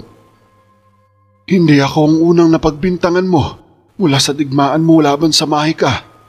At hindi lahat ay naging kasing swerte ko. Mahabang lintaya ni Mang Rigor. Tinitiyak ko sa iyo, Rigor. Bawat hakbang ay bubusisiin ko na upang matiyak na walang mangyayaring ganito. Pangako ng hari. Sana, totoo yan. Para sa ating kapakanan. Ngayon, kung ipagpapaumanhin mo, mayroon pa akong gagawin. Halatang galit si Mang Rigor at tinidibdib pa rin ito ang mga nangyari. Naiintindihan naman ito ni Haring Argo dahil maging siya ay binabagabag din ng konsensya. Kinagabihan, nakaupo si Javier sa mesa habang naghahain ng hapunan si Mang Rigor. Ang hindi ko maintindihan ay kung paano mo nalaman na itinago niya ang mga ebidensya sa kanyang silid. Wika ni Mang Rigor. Mabilis lang talaga ang pangyayari. Sagot ni Javier at umiwas ng tingin sa tsuhin. Nakikita ko. At ang palaka, Dagdag na usisa ni Mang Rigor, napalunok ng laway si Javier. Na ako, eh, ahem, ako, eh, hindi ko may paliwanag. Palusot ni Javier. Halos hindi ko rin maipaliwanag sa sarili ko. Maliban kung, syempre, nilagay mo ito sa kanya. Sambit ni Mang Rigor na may bahid ng pagdududa. Huminga ng malalim si Javier. Ay, oo na tiyo. Sapat na yun. Ipinapangako kung hindi ko naililigtas ang buhay mo. Ani ni Javier. Pangako, Sambit ni Mang Rigor. Talaga. Seryosong sabi ni Javier. Ngunit maya-maya pa ay nagtawanan din sila. sa totoo lang, Javier, napakalayo ng palaka. Paano mo yung ginawa? Wika pa ni Mang Rigor. Dapat nakita mo ang pagbumuka niya. Nagtawanan muli ang magtsuhin at masaya silang naghapunan sa gabing malamig.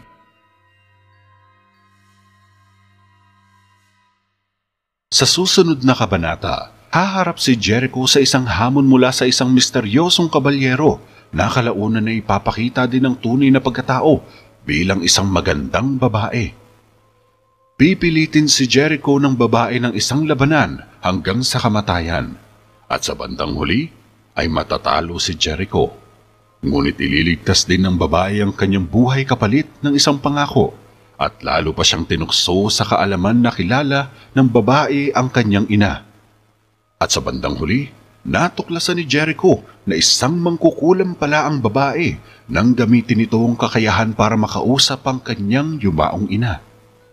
Dahil dito, mag-uusok si Jericho sa galit sa matutuklasan niya sa kanyang ina at babalik siya sa palasyo para patayin ang sariling ama. Pinanood ng isang babae si Jericho sa pamamagitan ng magic crystal sa kanyang enchanted forest. Musal ito ng dasal at makikita si Prinsipe Jericho na nakatayo sa loob ng council chamber habang nakaalalay sa kanyang ama. Lumawak ang ngiti ng babae. Jericho Mondragon, isang magandang kapalaran na naghihintay sa iyo. Magsisimula na ang laban para sa iyong kaluluwa. Wika ng babae at ngumiti ng nakakaloko.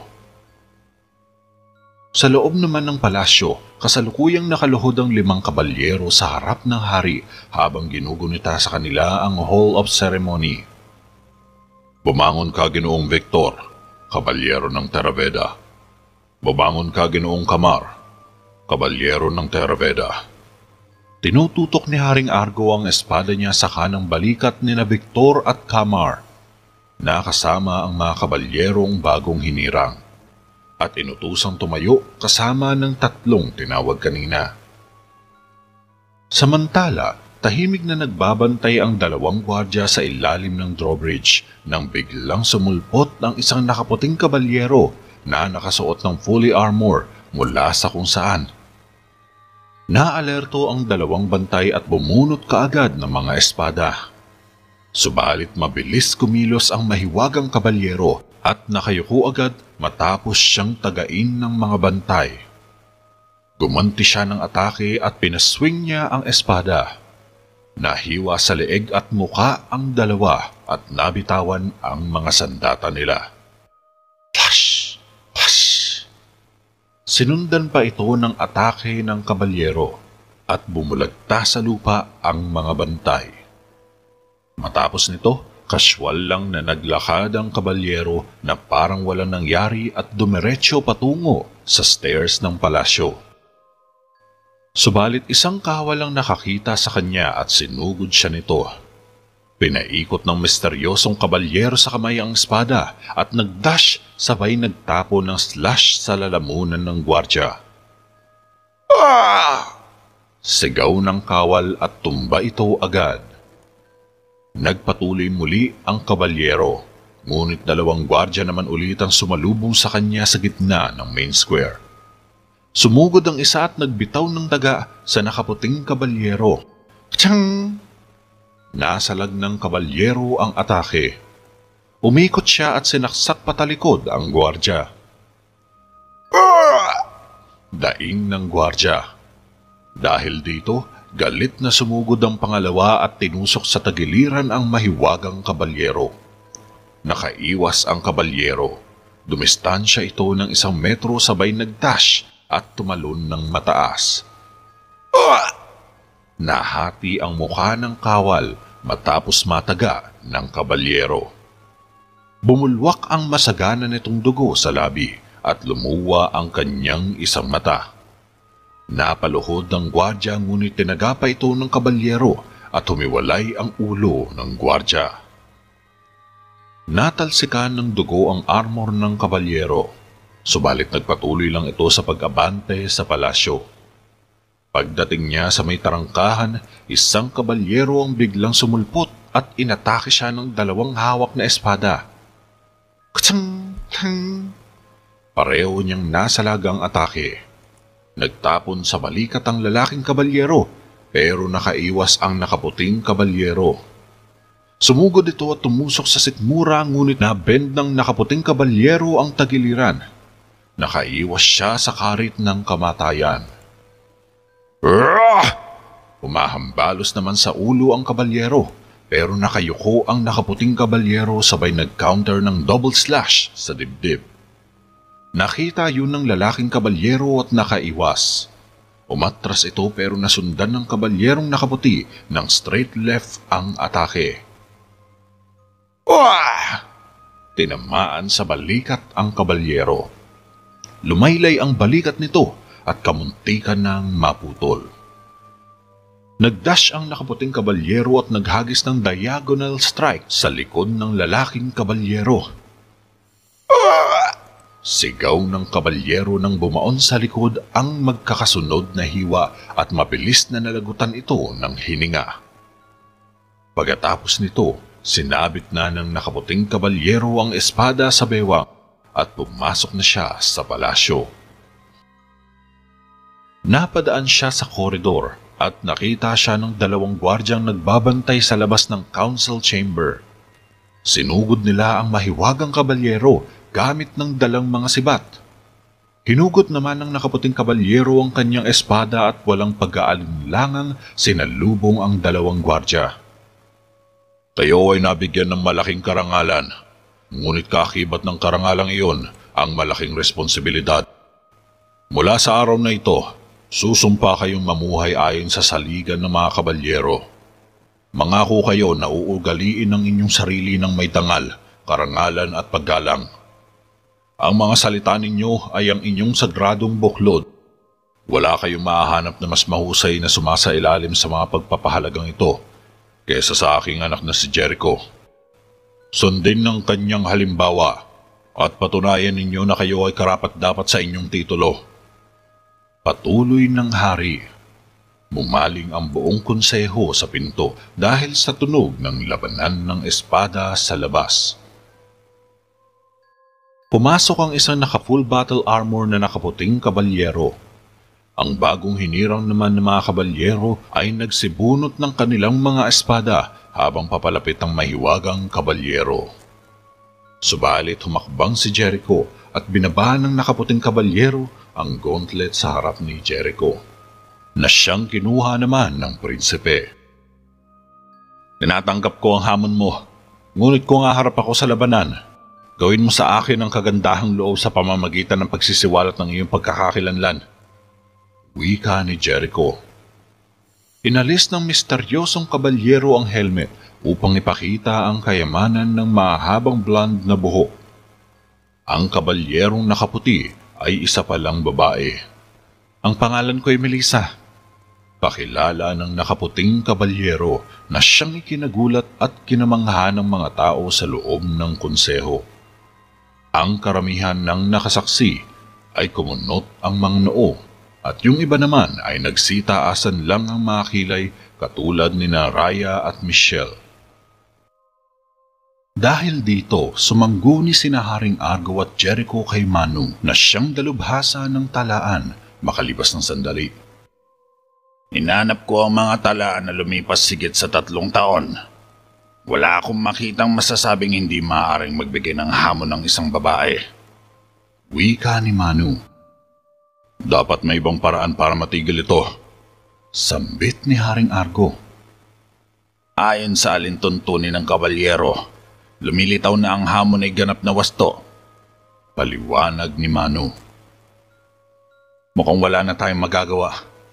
Wika naman ni Jericho. Wala kaming alam sa babaeng ito. Hindi ko ahayaan na harapin mo sa labanan. Pagpigil ni Haring Argo sa anak.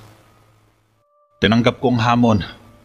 Kung tumanggi akong labanan siya, ito ay makikita bilang isang gawa ng kaduwagan. Tugon ni Jericho. Pinatay niya ang anin na gwardya at isang kabalyero. Hindi mo siya dapat maliitin. Saad ng hari. Hindi ko maaaring hilingin na itaguyod ng aking mga kabalyero ang kodigo habang makikita ako mismo ng sumisira nito. Kailangan ko siyang harapin bukas. Matigas na sabi ni Jericho. Samantala, pinapanood naman mula sa bintana ni Prinsesa Raya sa gitna ng square si Melissa habang nagsasanay mag-isa. Suot pa rin ito ang armor habang winawasiwas sa hangin ang sariling espada. Sino siya? Bakit niya hinamon si Jericho? Parang walang nakakakilala sa kanya. Tanong ni Michelle sabay lapit kay Raya. Pakiramdam ko nakilala ko na siya sa isang lugar. Sagot ng prinsesa. Talaga? Saan mo siya nakita? Kinuha ni Michelle ang isang unan at nilagay sa higaan ng prinsesa. Napaisip naman saglit si Raya. Hindi ko alam. Matipid na sagot niya. Pinanood niyang muli si Melissa na patuloy sa pagsasanay. Pero biglang bumaling ang babae sa kanya at napapitlag si Raya sa bintana. Alam mo ba kung bakit kanya hinamon? Tanong naman ni Javier kay Jericho nang pumasok ito sa silid ng prinsipe. Umupo siya sa mesa, pinukpok ng martilyo ang isang helmet. Anak ako ng hari, marahil ay naniniwala siya mapapatunayan niya ang kanyang sarili kapag natalo niya ako. Sagot ni Jericho habang paikot-ikot sa sala ng nakakross arm. Oo, pero ang totoo, ayaw mo siyang labanan, di ba? Wika ni Javier. Wala akong pagpipilian. Kung tumanggi akong labanan siya, tuwag ako. Kung papatayin ko siya, ano ako? Ano ito? Tanong pa ni Jericho. Hindi ka pa nakakaharap ng isang babae sa labanan? Paano kung magdalawang isip ka? Magagamit niya yun sa kalamangan niya sa'yo. Maaari kanyang mapatay. Saad ni Javier. Akala mo matatalo niya ako? Ani ni Jericho. Pinunasan ni Javier ang mga gauntlet. Sinasabi ko lang naman, kailangan mo maging maingat dahil mukhang bihasa ito sa paggamit ng espada at madaling manipulahin ng isang espada. Turan pa ni Javier. Simula noong nagkaroon ka ng kaalaman sa labanan, ganun ba? Kailangan kong magdala ng mensahe kay Melissa. Kung makikita niyang ginawa ko ito, maaari niya itong tignan bilang isang katuwagan. Kaya ikaw ang pumunta. Dapat mo siyang hikayatin na bawiin ang kanyang hamon. Maotoridad na utos ni Jericho kay Javier. Ilang sandali ang nakalipas, tinungo ni Javier sa guest room si Melissa. Maingat niyang binuksan ng pinto at dahan-dahan siyang pumasok sa loob. Tumingin si Javier sa paligid, ngunit isang matulis na espada ang biglang tumusok sa gilid ng leeg niya. Napatingin siya sa kaliwa at lumitaw ang seryosong mukha ni Melissa. Napataas ng kamay si Javier nang umikot si Melissa at tinapat sa lalamunan niya ang espada. Anong gusto mo? Tanong ni Melissa. Napaatras at napasandal sa likod ng pinto si Javier habang nanginginig ito sa takot. M- may mensahe ako para kay Prinsipe Jericho. Nais niyang bawiin mo ang iyong hamon. Walang gana si Jericho na labanan ka. Ngayon, kung aalis ka, bibigyan ka niya ng ligtas na pagdaan sa kaharian. Umalis ka na, habang kaya mo pa. Mahabang pahayag ni Javier. Kung walang gana si Jericho na kalabanin ako, siguro dapat na siyang umatras. Sagot naman ni Melissa habang nakatutok pa rin ang espada kay Javier. Hindi niya gagawin yan. Hindi hindi niya gagawin yan. Wala sa kanyang bokabularyo ang umatras sa laban. Wika ni Javier. Kung ganun ay pareho kami. Ani ni Melissa na binaba ang espada at tumalikod ito. Nakahinga naman ng maluwag ang batang mangtatawas. Kung lalabanan mo siya, kailangan niyang tratuhin ka na gaya ng ginagawa niya sa iba pang kalaban. Hindi mahalaga sa kanya kung babae ka. Ani ni Javier. Napalingon si Melissa bigla. Hindi ako humihingi ng espesyal na pagtrato. Sabay tinapon ni Melissa ang espada sa kama. Wala na mga traso sa si Jericho eh. Bakit mo siya hahamunin? Usisa pa ni Javier. Ang mga dahilan ko ay hindi mo maaaring pasukin. Ang amo mo na lang ang alalahanin mo bukas sa aming laban. Saad naman ni Melissa. Huwag mong ilagay si Jericho sa isang posisyon kung saan mapipilitan siyang patayin ka. Wika naman ni Javier. Sino magsasabing hindi mananatili sa aking mga kamay ang buhay ni Jericho? Makahulugang sabi ni Melissa at lumapit ito ng husto. Hindi naman nakareact si Javier. Kinabukasan, pumasok sa tournament ground si Haring Argo at tumayo sa tabi ni Raya at Michelle. Dagsa ang mga tao sa stands ng arena at nagkukumahog sa paghahanap ng mga pwesto para panoorin ang napipintong laban ni Prinsipe Jericho at ng babaeng kabalyero na si Melissa na siyang unang kabalyero na tatatak sa kasaysayan ng Theraveda. Samantala, inihahanda naman ni Javier sa loob ng tolda si Jericho para sa kanyang laban. Tahimik lang ang prinsipe at walang kaimik-imik. Binigyan mo siya ng pagkakataong umatras. Ano man ang mangyari, wala kang kasalanan.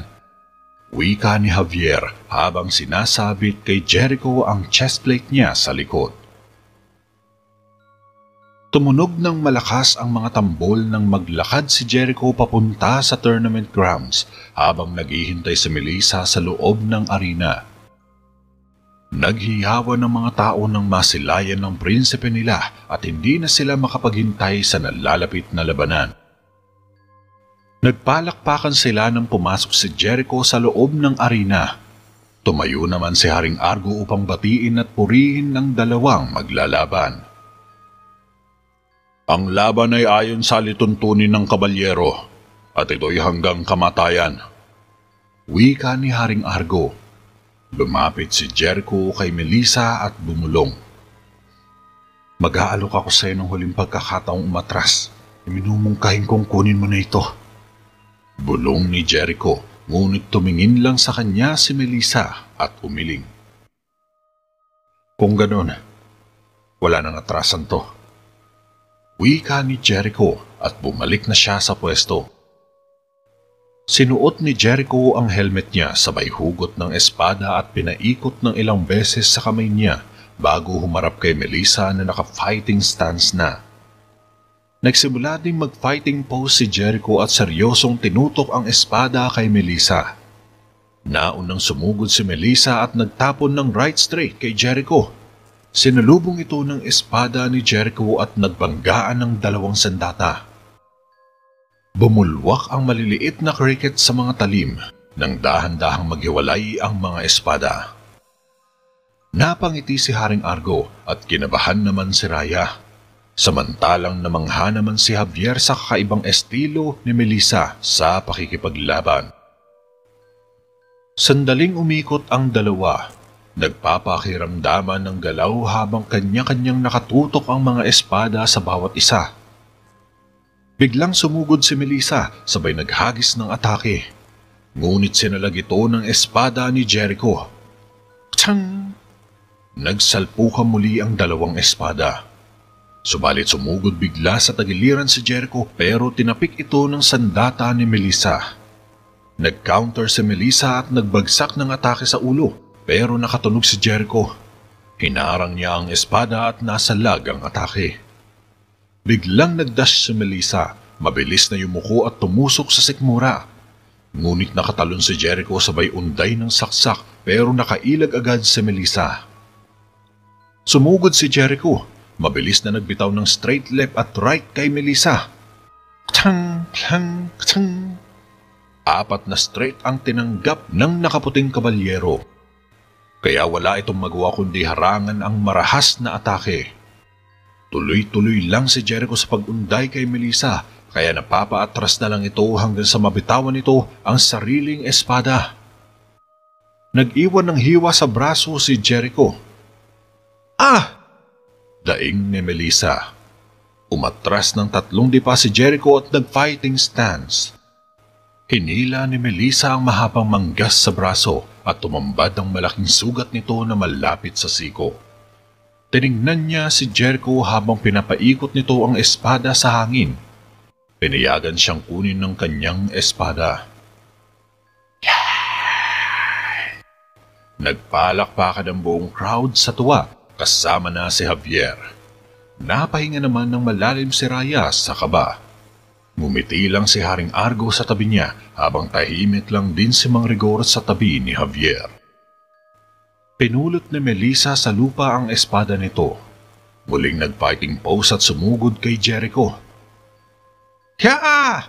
Sigaw ni Melissa at nakisabay din ng prinsipe na walang takot na sinalubong ang atake ni Melissa. Hang! Tsang!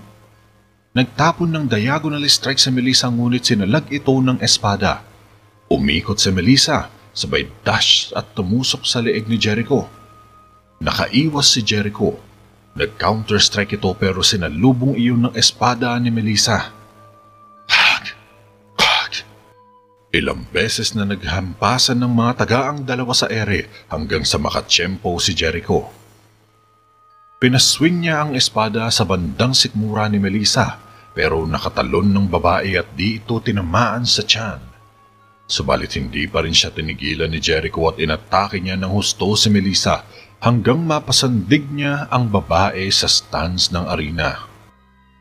Umunday ng malakas na atake si Jericho Subalit nakailag si Melissa. Crack! Nawasak ang ibabaw ng stands. Napaatras sa mga tao dahil kamuntikan na silang mahagip ng espada ni Jericho. Dahil dito, sinamantala ni Melissa ang pagkakataon at sinipa sa likod ng tuhod si Jericho. Na out of balance ang prinsipe. Bumagsak siya sa lupa at nabitawan ng espada niya. Tumalsik din ang helmet niya sa malayo.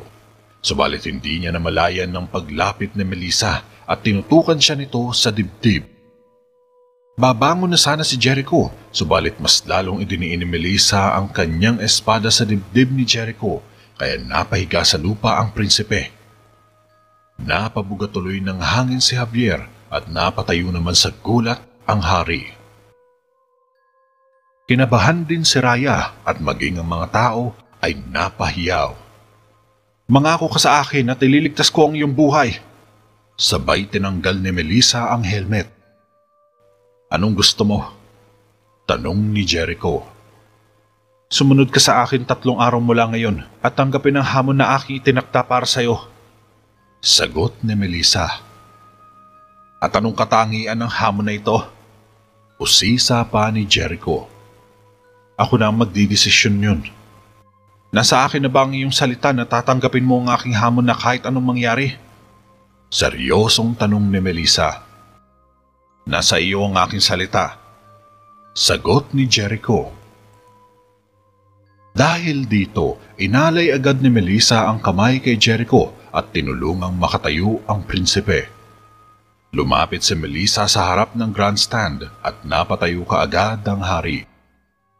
Nagbaw si Melissa kay Haring Argo at umalis na sa arena.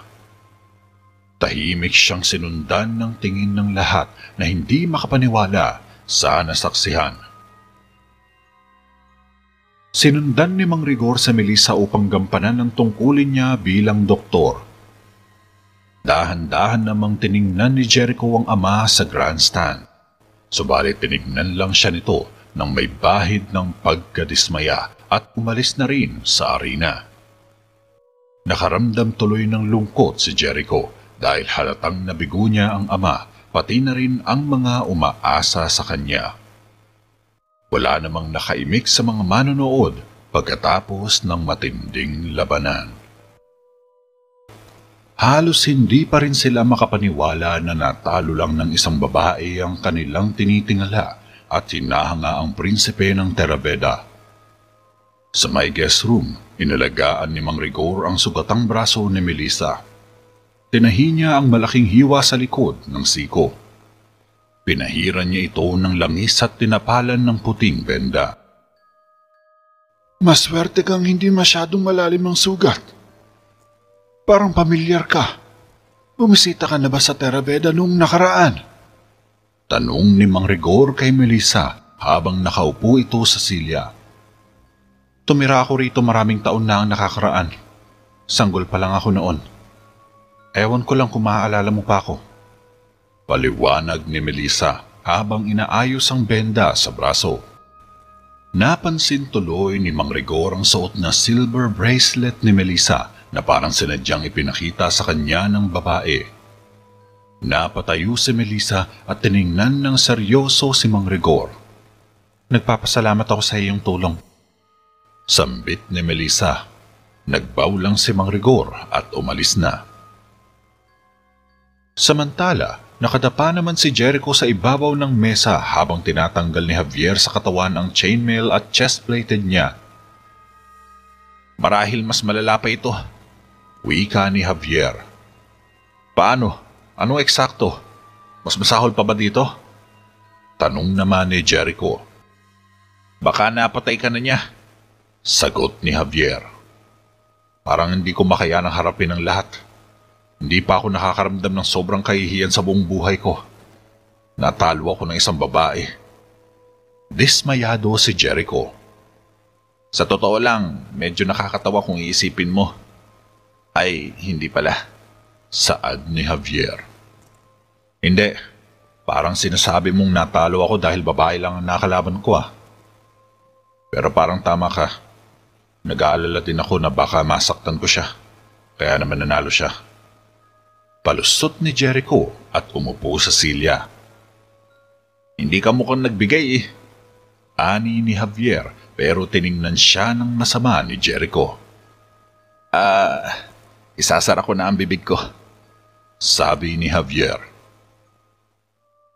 Pagkagat ng dilim, naisipang dalawin ni Raya si Melissa sa guest room nito. Kumatok siya sa pinto ni Melissa, subalit hindi ito nakalak kaya pumasok na lang siya at sinara ang pintuan. Biglang lumabas si Melissa sa dressing room na kakatapos lang din magbihis at nagulat ito nang makita si Raya na nakapasok sa loob. Hindi ko sinasadyang manghimasok. Gusto ko magpakilala. Ako si Princess Raya. Banayad na pakikilala ni Raya sa sarili. Alam ko kung sino ka. Lumapit si Melissa. Kamusta ang braso mo? Nasugatan ka, di ba? Paggalala ni Raya. Malapit na itong gumaling. Mukha kang pagod. Pansin ni Melissa kay Raya. Hindi kasi ako nakatulog na maayos. Sagot naman ni Raya. Alam ko sa sarili ko kung gaano kagulo iyon. Uwi ka ni Melissa. Hindi kaya nagkita na tayo sa isang lugar? Tanong pa ni Raya. Umiling si Melissa. Natutuwa ako na nagkita na tayo ngayon. Nilapag ni Melissa ang chainmail nito sa kama. Ang ganda ng porselas niya yan ah. Papuri ni Raya nang mapansin sa kamay ni Melissa ang silver bracelet nito. Isa itong regalo mula sa aking ina. Pakiusap, gusto kong ibigay ito sa'yo. Isa itong nakakagamot na porselas. Makakatulong ito sa'yo na makatulog na mahimbing. Tinanggal ni Melissa sa kamay ang bracelet at pilit na inabot kay Raya. Medyo na-weirdohan tuloy si Raya. Eh, hindi ko matatanggap yan. Um, Baka pagod ka lang siguro. Mahiwan na kita. Takot na nagtungo si Raya sa pintuan. Sana'y maalala mo na ako ng buong puso. Makahulugang sabi ni Melissa. Napahinto si Raya sa pagbukas ng pinto. Tumangulang siya ng bahagya kay Melissa at lumabas na sa guest room. Malalim na ang gabi pero hindi pa rin mapakali si Raya sa kanyang pagtulog. Papaling-paling ang kanyang ulo sa unan habang nakapikit at tila may nakikitang di maipaliwanag na bagay sa loob ng kanyang panaginip. Pinagmamasdan lang siya ni Melissa at inahawakan ng bracelet niya.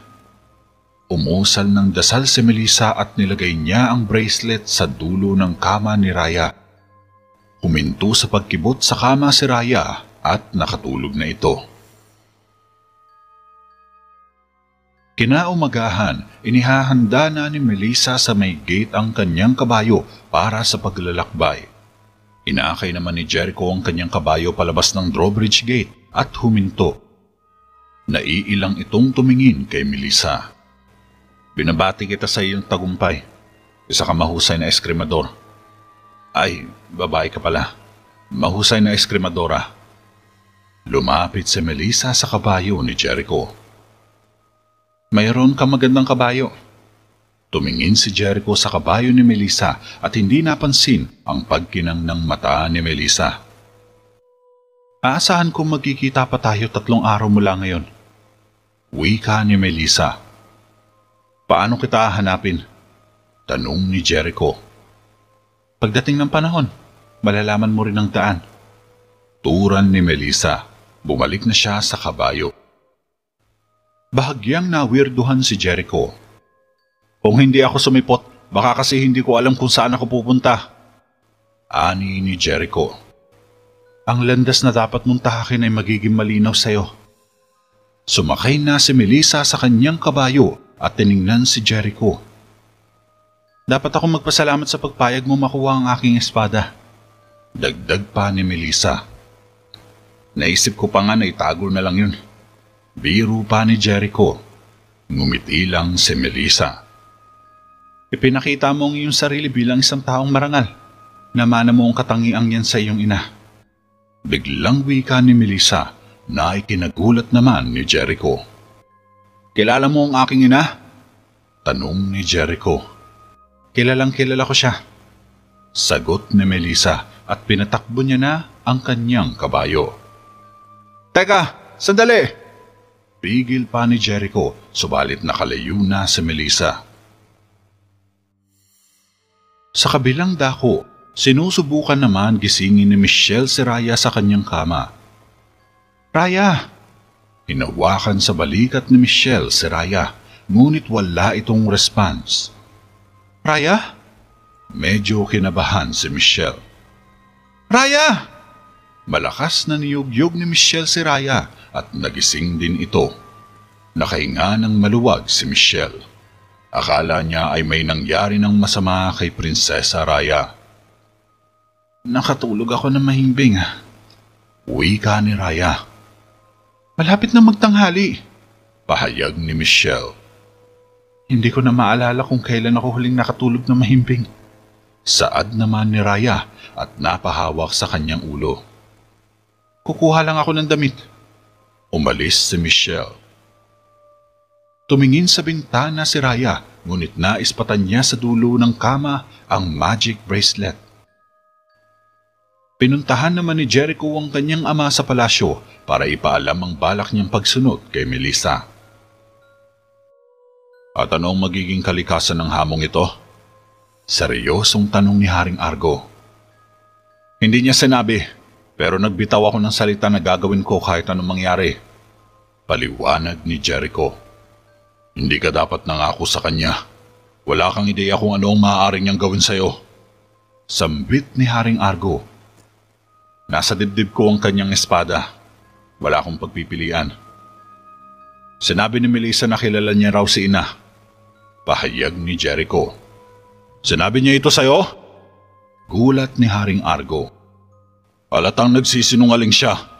Pinaglalaroan niya ang pangungulila mo sa iyong ina para madali ka maakit sa bitag. Dugtong ng hari pero umiling si Jericho. Walang saysay yan. Iniligtas niya ang buhay ko. Katwiran naman ni Jericho. Kinukumpirma tuloy nito ang aking mga hinala. Naniniwala ako na si Melissa ay isang mangkukulam. Paano ka kaya niya natalo ng ganon? Isipin mo nga, Turan ni Haring Argo. Hindi ako naniniwalang gumagamit siya ng mahika. Ani ni Jericho.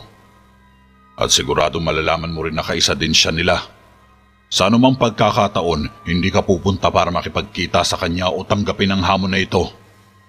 Maotoridad na utos ng hari. Pero nakapangako na ako. Sagot ni Jericho. Wala akong pakialam kung anong sinabi mo sa kanya. Mananatili ka pa rin sa Terabeda! Wika ni Haring Argo at desididong ikulong ang anak sa palasyo. Gusto kong marinig kung anong alam niya tungkol sa aking ina. Nagmamakaawa si Jericho. Wala siyang alam. Nagsisinungaling lang siya. Hindi ka pupunta sa kanya. Ipinagbabawal ko ito. Pagdidiin ni Haring Argo. Kaya ko bang sirain ang aking salita? Ani ni Jericho, ngunit sumenya si Haring Argo sa mga kawal. Iatid ang aking anak sa kanyang silid.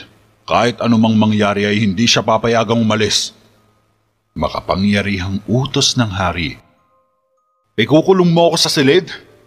Pumalag si Jericho at natakot lumapit ang mga gwardya. Pinoprotektahan lang kita mula sa sarili mong katangahan. Sagot ni Haring Argo. Pagkagat ng dilim, naglalakad sa pasilyo si Javier papunta sa kwarto ni Jericho. Nalilitong tiningnan ang mga gwardya bago siya pumasok. Bakit nasa labas ng pinto mo ang mga kawal? Tanong ni Javier at pinatong niya sa kama ang dalang basket. Ipinakulong ako ng aking ama at pinagbawalan akong tanggapin ang hamon ni Melissa. Sagot ni Jericho habang nakabaluktot na nakaupo sa may bintana. Pwes, siguro may punto din siya. E ikaw, hindi mo ba alam kung ano ang maaaring ipagawa niya sa'yo? Wika ni Javier at nilagay sa basket ang mga damit ni Jericho. Nakapangako na ako sa kanya. Ani ni Jericho. Kung gayon, edi pupunta tayo. Saad ni Javier. Napatingin sa kanya si Jericho. Mas matalino ka talaga kaysa sa itsura mo. Magtipon ka na ng mga gamit. Alis tayo mamayang gabi. Oh, at Javier, umanap ka ng paraan para maalis ako dito. Maotoridad na utos ni Jericho. Ngumiti lang si Javier. Maagang umuwi sa bahay si Javier upang maghanap ng kagamitan para itakas si Jericho. Delikado man ang gagawin, subalit wala na siyang choice dahil mas takot siya sa prinsipe kaysa sa hari. Pagdating ni Javier sa bahay ay nabungaran niya ang tsuhin na kasalukuyang sinishake ang isang tube na pinag-eeksperimentuhan niyang gamot. Lumapit si Javier kay Mang Rigor. Kamusta si Jericho? Tanong ng matanda. Ibig mong sabihin pagkatapos matalo ng isang babae sa harap ng buong Terabeda? Nakita ko siyang masaya.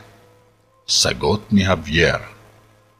Sa nakikita ko, mas masaya ka pa sa nangyari. Nakangiting wika ni Mang Rigor. Siguro, konti. Nakakita si Javier ng lubid sa ilalim ng desk ni Mang Rigor. Lumapit siya sa mesa at nagkunwaring may giniling para sa tsuhin habang inilalagay ang lubid sa ilalim ng kanyang damit. Parang ahas na gumapang ang lubid papunta sa ilalim ng pantalon ni Javier. Napapitlag si Javier nang pumasok ang lubid sa kanya at napansin siya ni Mang Rigor na parang hindi mapakali. Tiningnan siya ng may pagdududa ng tsuhin pero pinagpatuloy lang niya ang pagbayo ng isang halaman sa malaking bowl para hindi siya mahalata. Kalahating oras ang nakalipas, pumasok si Javier sa silid ng prinsipe at naabutan niyang nakabihis na ng chainmail si Jericho. Nakuha ko na ang mga gamit. Wika ni Javier. Javier, mahinasyon ko ba to o tumataba ka lang ngayon?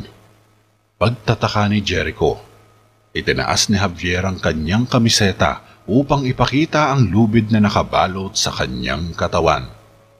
Napangiti si Jericho, sabay napailing sa kalukuhan ni Javier. Maya-maya pa ay naghahanda na si Javier sa pag-angkla kay Jericho habang ito ay umaakyat sa bintana. Tiningnan ni Jericho si Javier na may bahid ng pagdududa habang nakahawak ang kanyang dalawang kamay sa lubid. Sigurado ka bang may lakas ka para hawakan ako?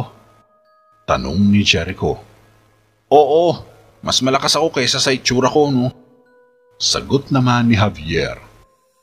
Nagsimulang mag-slide si Jericho sa kalagitnaan ng kastilyo at nadala si Javier sa puwersa.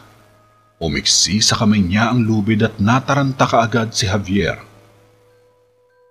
Anong ginagawa mo? Ibaba mo pa ang lubid. Utos ni Jericho. Wala nang lubid. Hindi ko alam kung makakatagal pa ako. Mahinang sabi ni Javier. Javier, huwag kang magkakamaling bitawan ng lo... Nadulas ang lubid sa kamay ni Javier at unang bumagsak ang mukha ni Jericho sa isang tumpok ng dumi ng kabayo. Napadungaw agad sa bintana si Javier at kita niyang nag-uusok sa inis si Jericho. Halos di niya na makilala ang prinsipe dahil kinain na ng dumi ang mukha nito. Kinabukasan, makikitang nakasakay sina Javier at Jericho sa kanilang mga kabayo habang binabagtas nila ang masukal na kakahuyan. Aling daan, alam mo ba talaga kung saan tayo pupunta? Tanong ni Javier nang mapahinto sila sa magkasalungat na daan. Dito tayo, halika na. Pinatakbo ni Jericho ang kabayo sa daan sa kaliwa, ngunit dumiretso ito sa kanan. Anong mali sa kabayong ito? Mukhang mas tanga pa to sa iyo, Javier. Turan ni Jericho. Saan ka pupunta? Akala ko ba sabi mo dito sa kaliwa? Pagtataka naman ni Javier. Hindi ako, itong kabayo. Sabi sa akin ni Melissa, pagdating ng panahon malalaman mo ang iyong paraan. Paliwanag ni Jericho. Kaya alam ng kabayo kung saan tayo pupunta? Ah, mas matalino pa pala sa iyo yan eh. Biro pa ni Javier pero sinungitan lang siya ni Jericho.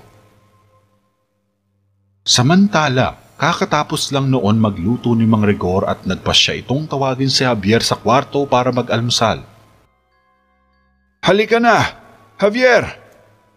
Ha? Javier? Walang laman ang silid ni Javier.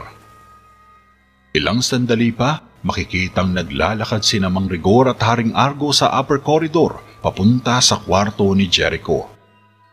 Nakita ni Haring Argo ang bukas na bintana at bumaling sa mga gwardya. Binabantayan niyo ang isang bakanteng kwarto.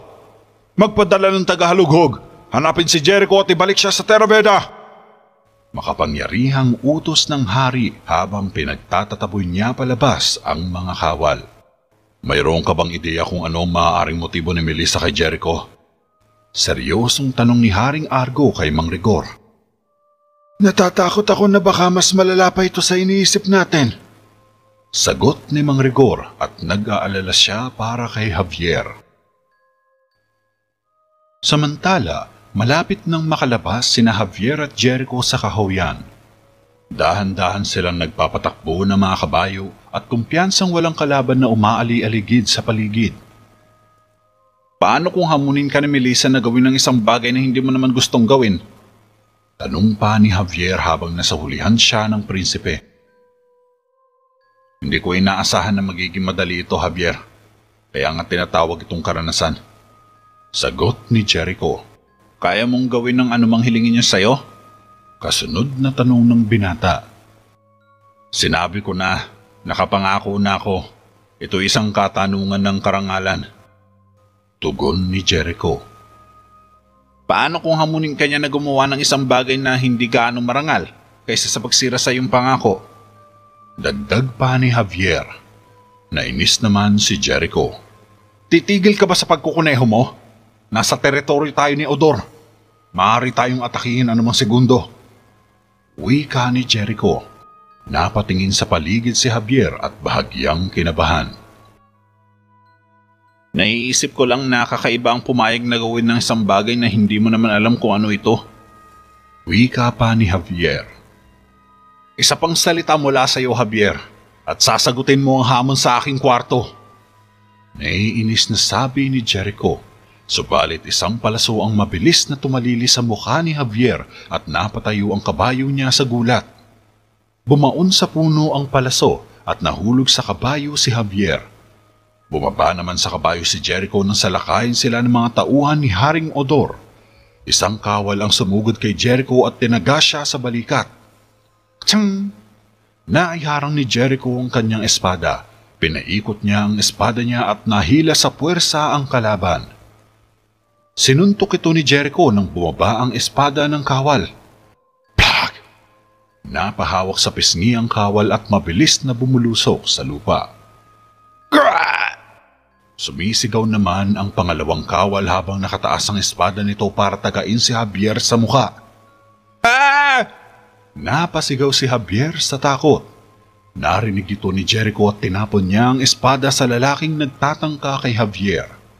Shh! Pumaon ang espada ni Jericho sa likod ng kawal. Nabuwal ito at nagpagulong-gulong sa lupa. Isang kalaban naman ang biglang sumulpot sa likod ni Jericho. Grah! Sigaw ng pangatlong kalaban. Mabilis na kinuha ni Jericho ang espada ng unang kawal at napatumba niya at nilabanan niya ang paparating na kalaban. Umunday ito ng saksak sa leeg pero nasalag ito ni Jericho at nagbitaw ng mga atake. Sinabayan naman siya ng kalaban at nagsalpukan ng kanilang mga espada. Pinanood lang ni Javier ang laban. Kachang, tang, Nagtapon ng mababilis na right and left straight si Jericho at napaatras niya ng bahagya ang kalaban. Subalit isang kawal ang nakamasid kay Jericho at mukhang nagaantay lang ito ng tiyempo.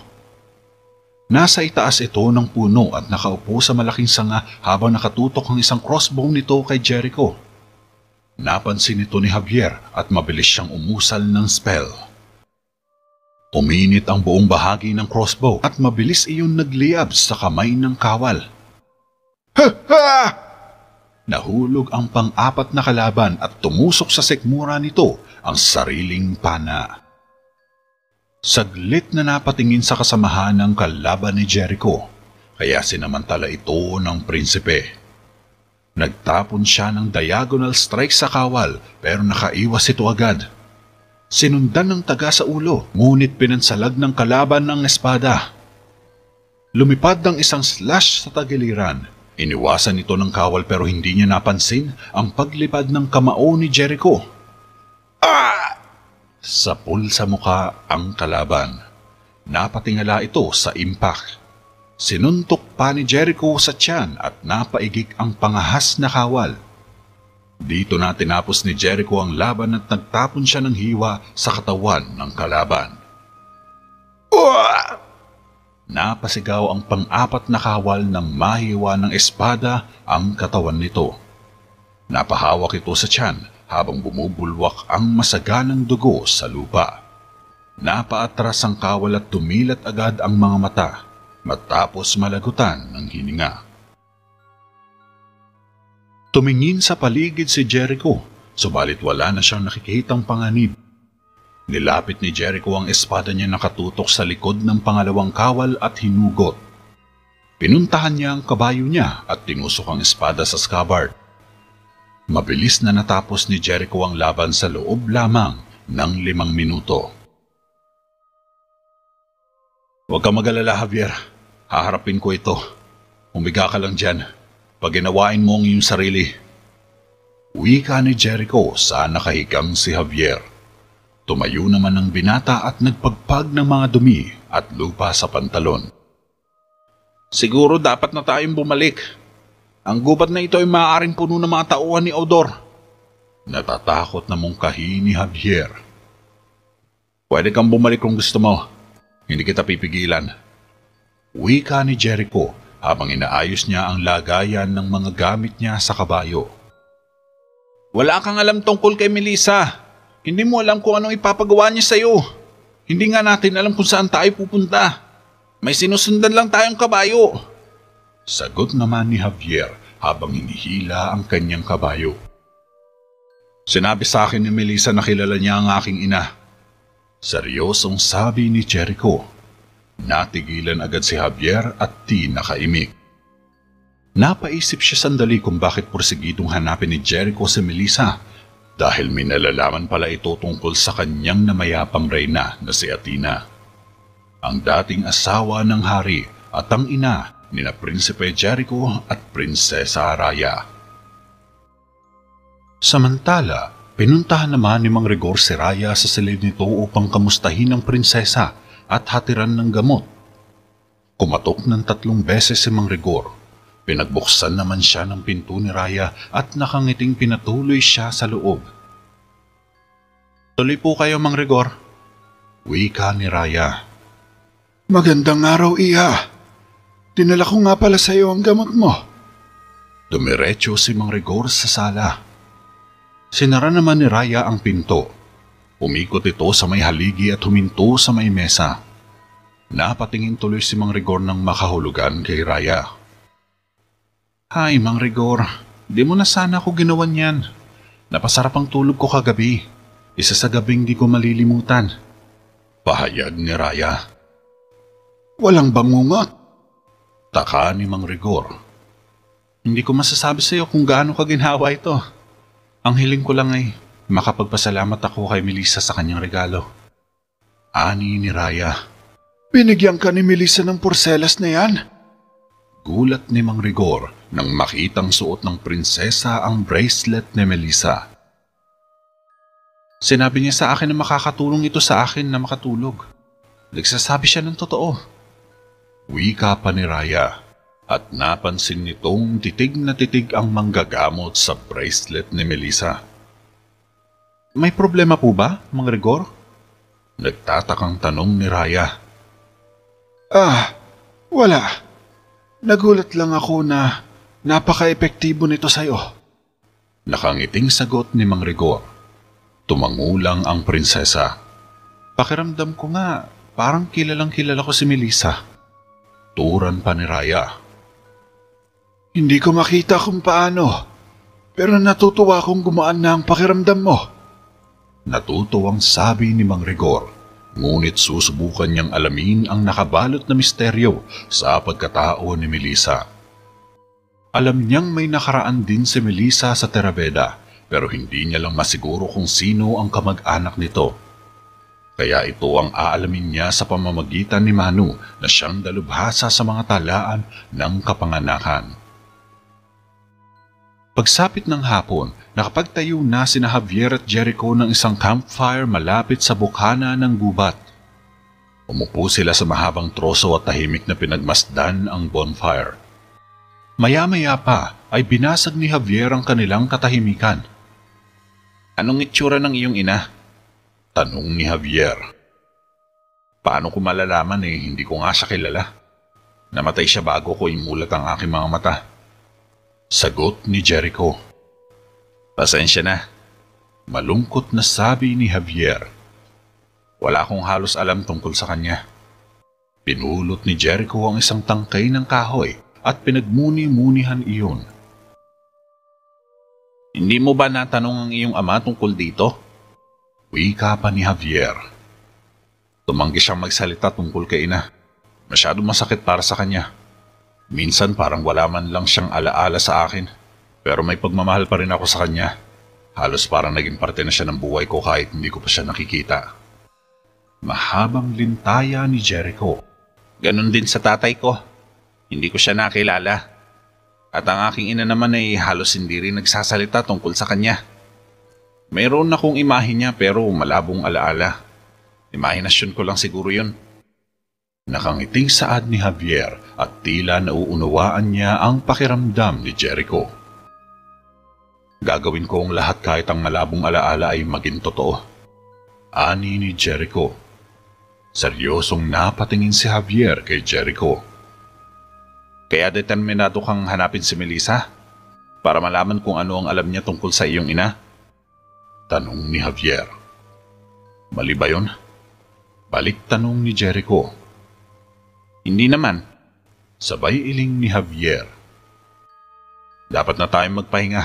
Maaga pa tayo bukas. Tumayo si Jericho at hinanda na ang kanilang tutulugan. Pinagbuksan naman ng pinto si Mang Rigor matapos niyang hilingin na makausap ang hari. Pumasok siya sa loob at nakitang kumakain si Haring Argo sa mesa. Aking kamahalan, kailangan kitang kausapin. May kinalaman ito kay Melissa. Wika ni Mang Rigor sabay nagbaw sa hari. Tungkol saan ito? Tumigil sa pagkain si Haring Argo at nagpunas ng mga kamay. Habang ginagamot ko ang sugat niya, napansin ko ang pulseras niya. Panimula ni Mang Rigor habang lumalapit siya sa hari. Sige, tuloy mo lang. Uminom ng alak si Haring Argo. At taglay nito ang selyo ng isa sa mga dakilang bahay. Ang dakilang bahay ni Nimue. Mayroon lamang isang tao, maliban kay Melissa na may dahilan upang magsuot ng gayong pulseras. Ibig sabihin, magkapatid sila ni Nimue. Pagbubulgar ni Mang Rigor. Matagal ko nang pinaniwalaan na ang bata ay namatay. Nilapad ni Haring Argo ang baso. Nabuhay ang bata, kamahalan. Siya ay ipinuslit palabas ng Terabeda pagkatapos ng kanyang kapanganakan. Pahayag ni Mang Rigor na ikinagulat naman ni Haring Argo. Paano mo ito nalaman? Napatayo ang hari. Pinagkatiwala ko ang bata sa mga dakilang saserdote ng lumang relihiyon. Sagot ni Mang Rigor. Di siya makatingin sa mga mata ng hari. Dapat sinabi mo sa akin to, Rigor! Medyo galit na sabi ni Haring Argo. Ako'y nanumpa ng isang taimtim na panunumpa. Aking kamahalan. Sinisira ko lang ito ngayon dahil natatakot ako sa maaaring gawin ni Melissa. Sambit ng manggagamot. Alam ba ni Raya? Seryosong tanong ng hari. Hindi ako naniniwalang alam niya. Tugon ni Mang Rigor. Hindi niya dapat malapitan si Raya. Naintindihan mo ba, Rigor? Hindi ko hahatiin ang karapatan niya. Wika ni Haring Argo. Siyempre, ang mga dakilang saserdote ay sinasanay ni Melissa mula sa kapanganakan. Lubang makapangyarihan ng kanyang mahika. Turan ni Mang Rigor. Kung gayon, dapat tayong umasa na mahanap ng mga kawal si Jericho bago niya ito maabot. Anas ni Haring Argo at lumapit ito kay Mang Rigor. Tumango ang manggagamot. Pansin niya ang matinding pagkabahala sa mukha ng hari. Kinabukasan, nakarating ang search party ng mga kawal ng Theraveda na pinangungunahan ni Nicolas malapit sa teritoryo ni Haring Odor. Nadatnan nila ang apat na bangkay na nakahandusay sa daan at naniniwala sila mga tauhan ito ni Haring Odor. Chinek nila mabuti ang lugar at wala silang natagpuan na bakas ni Jericho sa paligid. Samantala, nakarating naman sina Javier at Jericho sa isang lawa na may mababang talon sa dulo. Mukhang dinala tayo ng kabayo mo sa hangganan. Wika ni Javier. Pero nabigla sila na mag-isang naglakad ang kabayo ni Jericho papunta sa tubig. Saan naman siya pupunta ngayon? Pagtataka ni Jericho. Papaliguan ka pa yata. Sagot ni Javier. Tumahimik ka dyan. Inis ni Jericho. Ha? Uy, hintay, Jericho! Itinulak ni Javier ang kanyang kabayo upang sundan si Jericho sa lawa. Pumasok si Javier sa isang lagusan sa likod ng talon at lumabas sa isang kakawian na malatila para iso ang ganda. Pinalakad niya pa ang kanyang kabayo upang hanapin si Jericho. Naabutan niya ito sa labas ng bukana ng kagubatan na nakahinto at nakatitig sa isang enchanted castle sa may di kalayuan. Nasaan tayo? Tanong ni Javier. Hindi ko alam. Tila tulalang sagot ni Jericho. Kung hindi tayo siguradong si Melissa noon ay isang mangkukulam, ngayon ay sigurado na tayo. Wika ni Javier. Nagpatuloy sila ni Jericho at nilibot nila ang paligid ng lumang kastilyo hanggang sa makarating sila sa likod. Nakakita sila ng nakabukas na gate. Lumusot silang dalawa. Ganyan siguro niya ako natalo. Gumagamit siya ng mahika.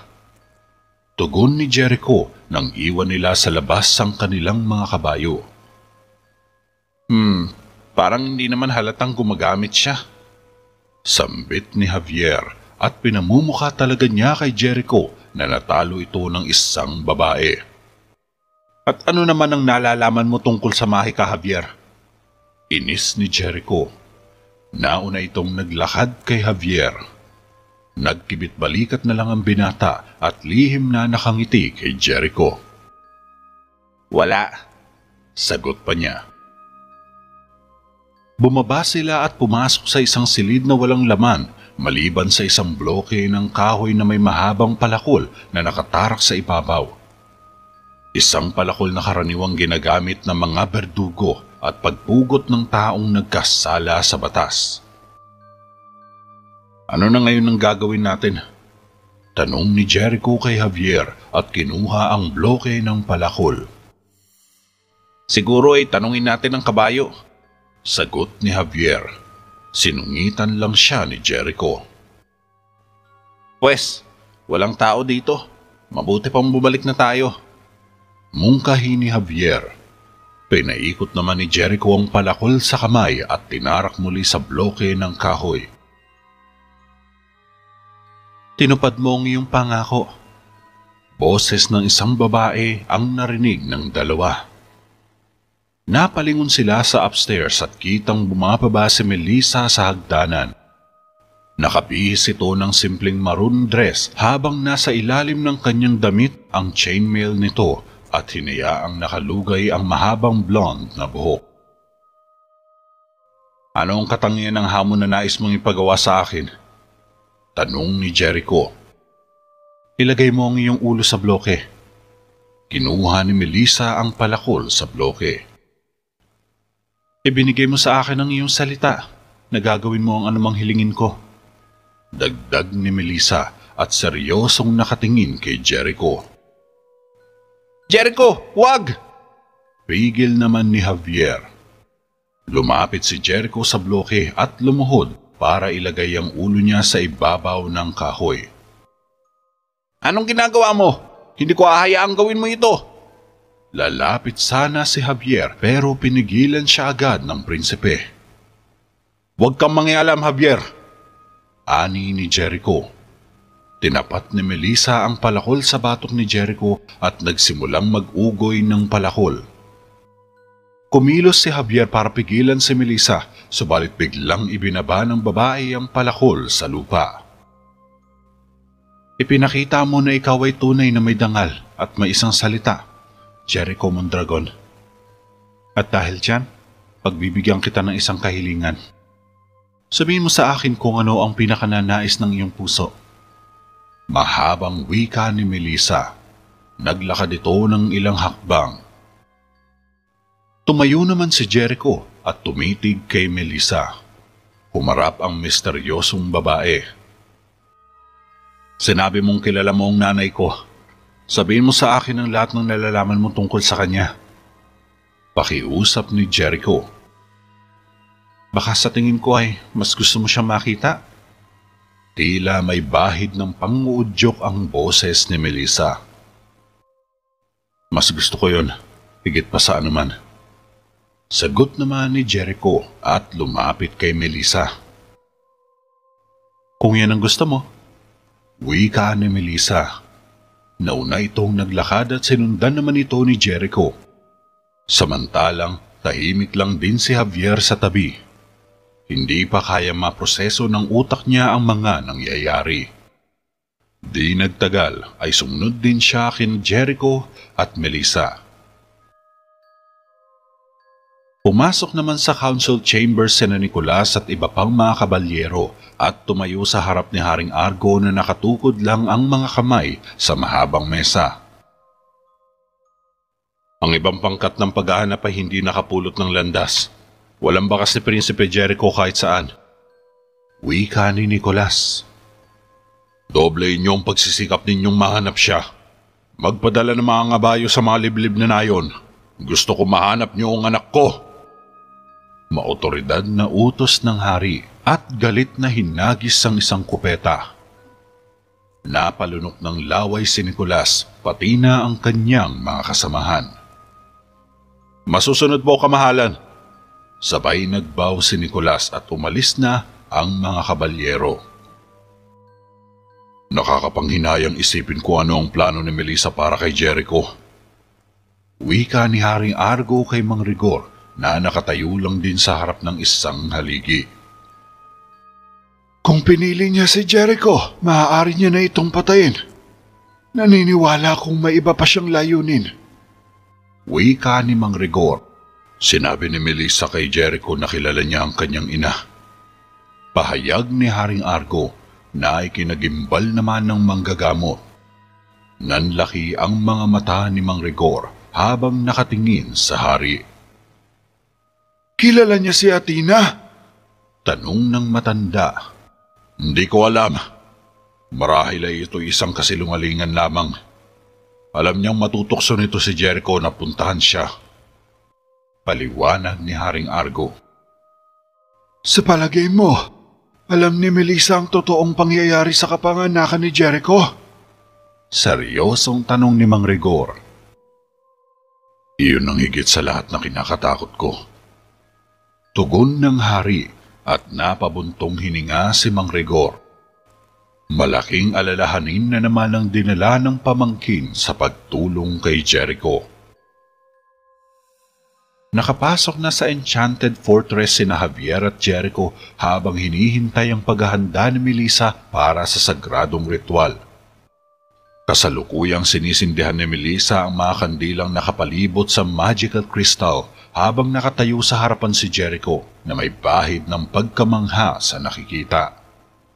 Sigurado ka bang gusto mong gawin ito? Bulong ni Javier kay Jericho na nasa gilid lang. Kung bibigyan ka ng parehong pagkakataon, ayaw mo bang makilala ang iyong ama? Sagot ni Jericho. Natahimik naman saglit si Javier. Pero hindi ka mapapatawad ng hari kapag nalaman niyang nakipagtulungan ka sa isang mangkukulam. Wika ni Javier. Paano kung mali ang tingin ng tatay ko sa Mahika? Saad ni Jericho. Akala mo ba talaga ganun lang ito kasimple? Sambit ni Javier. Marahil ay hindi ito kasimsimple ng gusto niyang paniwalaan natin. Si Melissa ay isang mangkukulam wala siyang ginawang pinsala sa atin.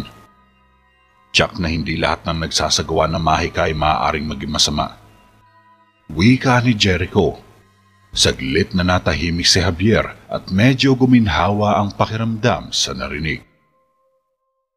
Mukhang unti-unti nang ang natatauhan si Jericho sa itinatak ng kanyang ama na hindi lahat ng gumagamit ng mahika at salamangka ay masasama. Hindi talaga natin alam kung bakit niya ito ginagawa. Sabi ni Javier na medyo nakangiti. Oras na. Napatingin ng dalawa sa babae. Inihipan ni Melissa ang pinangsindi sa mga kandila at inalay ang kamay kay Jericho. Lumapit si Jericho sa harap ng altar na puno ng mga puting kandila at tumabi naman si Javier malapit sa may pader. Ipikit mo ang iyong mga mata. Utos ni Melissa. Sumunod naman si Jericho at dahan-dahan niyang ipinikit ang kanyang mga mata.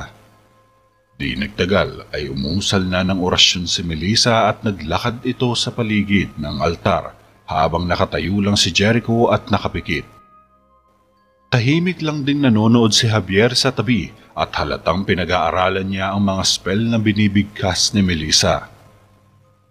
Nakahanda na rin siya sa mga posibleng mangyari kung sakaling may gagawin mang kakaiba ang babae kay Jericho.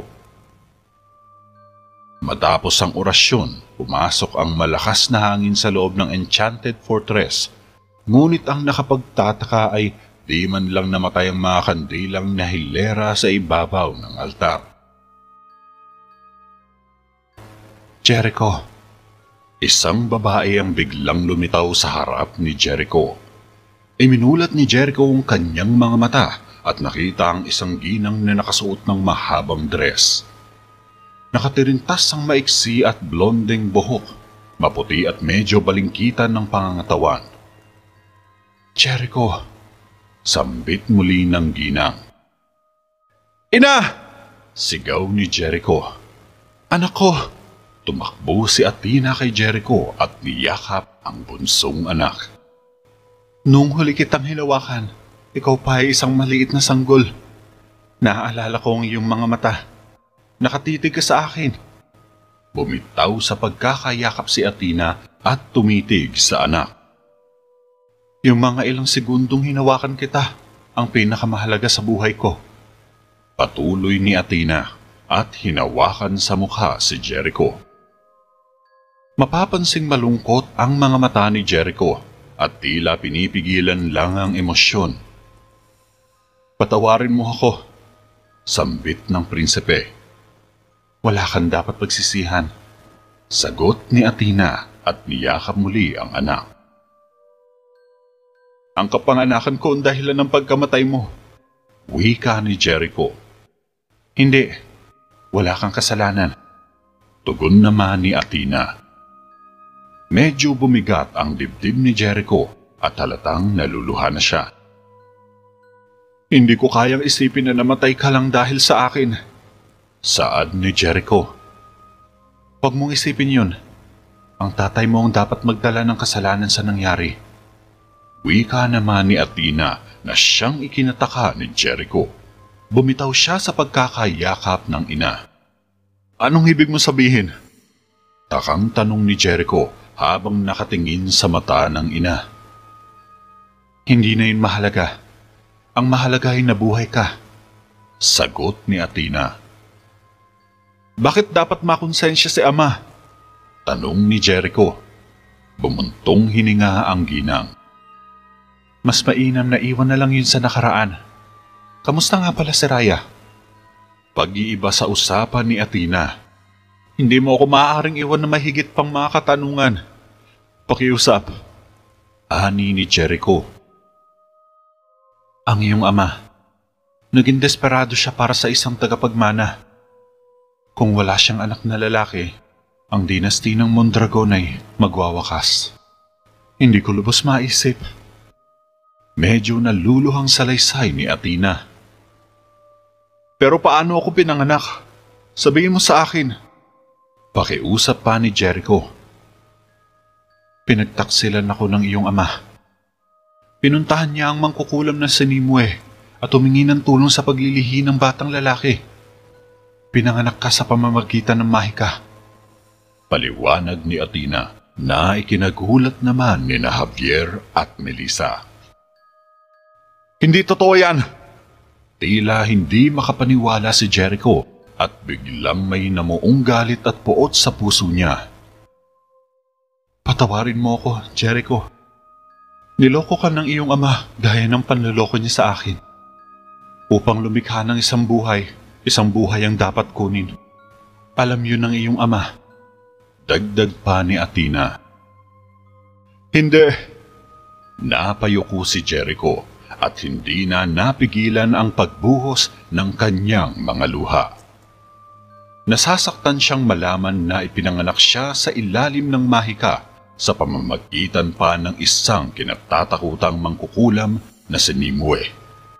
Ngayon niya lang napagtanto na pinagmukha siyang tanga ng kanyang ama. Pinaikot at pinaglaruan nito ang isipan niya.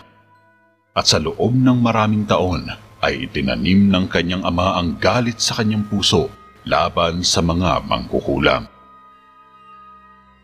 Dahil dito, nagsisisi siya sa mga ginawa niya noon at pinangakong pagbabayarin niya ang ama sa lahat ng mga kasalanang ginawa nito. Isinakripisyo niya ang aking buhay para magpatuloy ang dinasti ng Mondragon. Ito ang gumawa sa iyo kaya hindi ko masasabi na ikaw ay purong anak ko. O hindi mo rin ako gaanong maipagmamalaki sa iyo. Ngayong nakita na kita, kusang loob kong ibibigay ang buhay ko. Huwag mong hayaang baguhin ka ng kaalamang ito. Wika ni Athena at biglang lumakas ang hangin sa paligid. Tumingin si Jericho at wala na si Athena sa harap niya. Hindi! Sigaw ni Jericho. Bumaling siya kaagad kay Melissa. Ibalik mo siya! Hindi ko na kaya yon. Kapag ang pintuan ay nagsara, ito ay sarado na magpakailanman.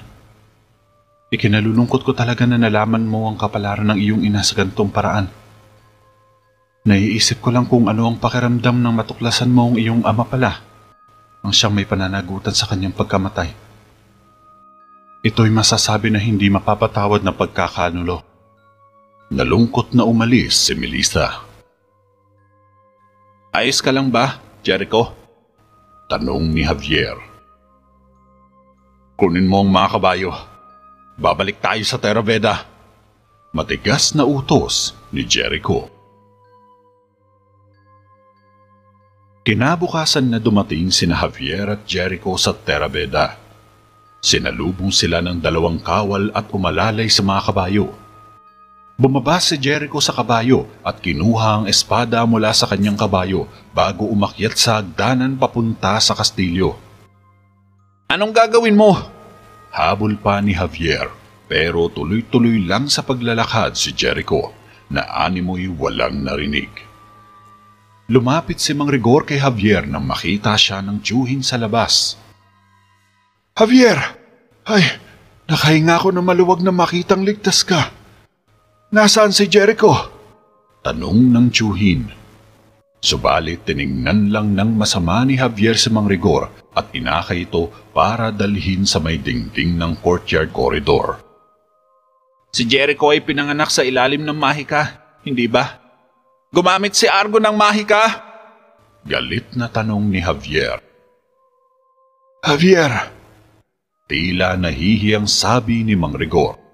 Lahat ng mga taong pinatay niya, may kasalanan din siya gaya nila. Sinakripisyo niya ang nanay ni Jericho. Wala siyang kasing sama sa mga masasama. Dapat malaman ng mga tao ang katotohanan tungkol sa kanyang ginawa. Paanong hindi mo ito sinabi sa akin? Tanong ni Javier habang hindi siya mapakali sa kinatatayuan. Nanginginig ito sa sobrang galit. Natatakot ako sa gagawin ni Jericho kapag nalaman niya ang totoo. Katwiran naman ni Mang Rigor. Umiling lang si Javier. Oh, pero nalaman na niya ngayon. Tumakbo si Javier sa hagdan papasok sa palasyo. Nakatingin si Haring Argo sa isang papeles kasama si Nicolas nang pumasok si Jericho. Nagulat ang dalawa nang makita siya. Sinara kaagad ng mga kawal sa labas ang pinto. Jericho, saan ka ba nanggaling? Nagpadala ko ng grupo na naghahanap sa'yo. Natutuwang sabi ni Haring Argo. Jericho? Pero tahimik lang ang prinsipe. Matalas ang titig niya sa hari at animoy nag-aapoy ang mga mata niya sa galit. Alam ko, ang ginawa mo sa nanay ko. Galit na sabi ni Jericho. Natunaw ang ngiti ng hari. Iwan mo na kami. Wala kang papapasukin. Utos ni Haring Argo at ipinasa kay Nicolas ang mga papeles. Lumabas ito at isinara ng gwardya ang pinto. Nagbantay sila sa labas. Ano bang pinagsasasabi mo? Nagkukunwaring walang alam si Haring Argo. Masyado kang desperado para sa isang tagapagmana. Handa kang gumamit ng mahika para lang matupad ang pangarap mo. Wika ni Jericho. Ito ba ang sinabi sa'yo ni Melissa? Nagsisinungaling siya. Wika naman ng hari. Namatay ang nanay namin dahil sa pagiging makasarili at kayabangan mo. Nasa kamay mo ang dugo niya! Galit na sabi ni Jericho. Hindi, hindi yan totoo anak. Ngunit ito ang gusto ni Melissa na paniwalaan mo. Saad ng hari. Ito ang nagpapagatong sa iyong galit sa mga nagsasanay ng mahika. Imbis na sisihin mo ang sarili mo sa ginawa mo, sinisisi mo sila! Sigaw ni Jericho. Lumapit si Haring Argo. Maniniwala ka ba sa kasinungalingan ng isang mangkukulam kaysa sa salita ng sarili mong ama? Naiisip ko lang na baka ginayuma ka ni Melissa. Sambit ni Haring Argo. Hinabol mo ang kanyang uri tulad ng mga hayop. Ilang daan na ba ang hinatulan mo ng kamatayan para mabawasan ang iyong kasalanan? Sarcastic na tanong ni Jericho. Ang mga nagsasanay ng mahika ay titigil sa wala para sirain tayo. Ginawa ko lang ang kailangan para protektahan ang kahariang ito. Paliwanag ni Haring Argo. Nagsasalita ka ng karangalan at kamaharlikahan. Pero ang totoo ay wala kang pinagkaiba sa mga hipokrito at mga sinungaling. Anas ni Jericho. Ako ang iyong hari at ang iyong ama. Magpapakita ka ng kaunting paggalang! Sigaw ni Haring Argo. Subalit, ibinato ni Jericho ang kanyang gauntlet sa paanan ng kanyang ama. Nawala ka na ba sa isip mo? Sambit ng hari. Kunin mo ito. Kalmadong utos ni Jericho. Jericho, nakikiusap ako sa iyo. Pag-isipan mo ang ginagawa mo. Pagmamakaawa ng hari. Kunin mo ito! Matigas na sabi ni Jericho. Hindi kita lalabanan. Sagot ni Haring Argo pero binunot ni Jericho ang kanyang espada.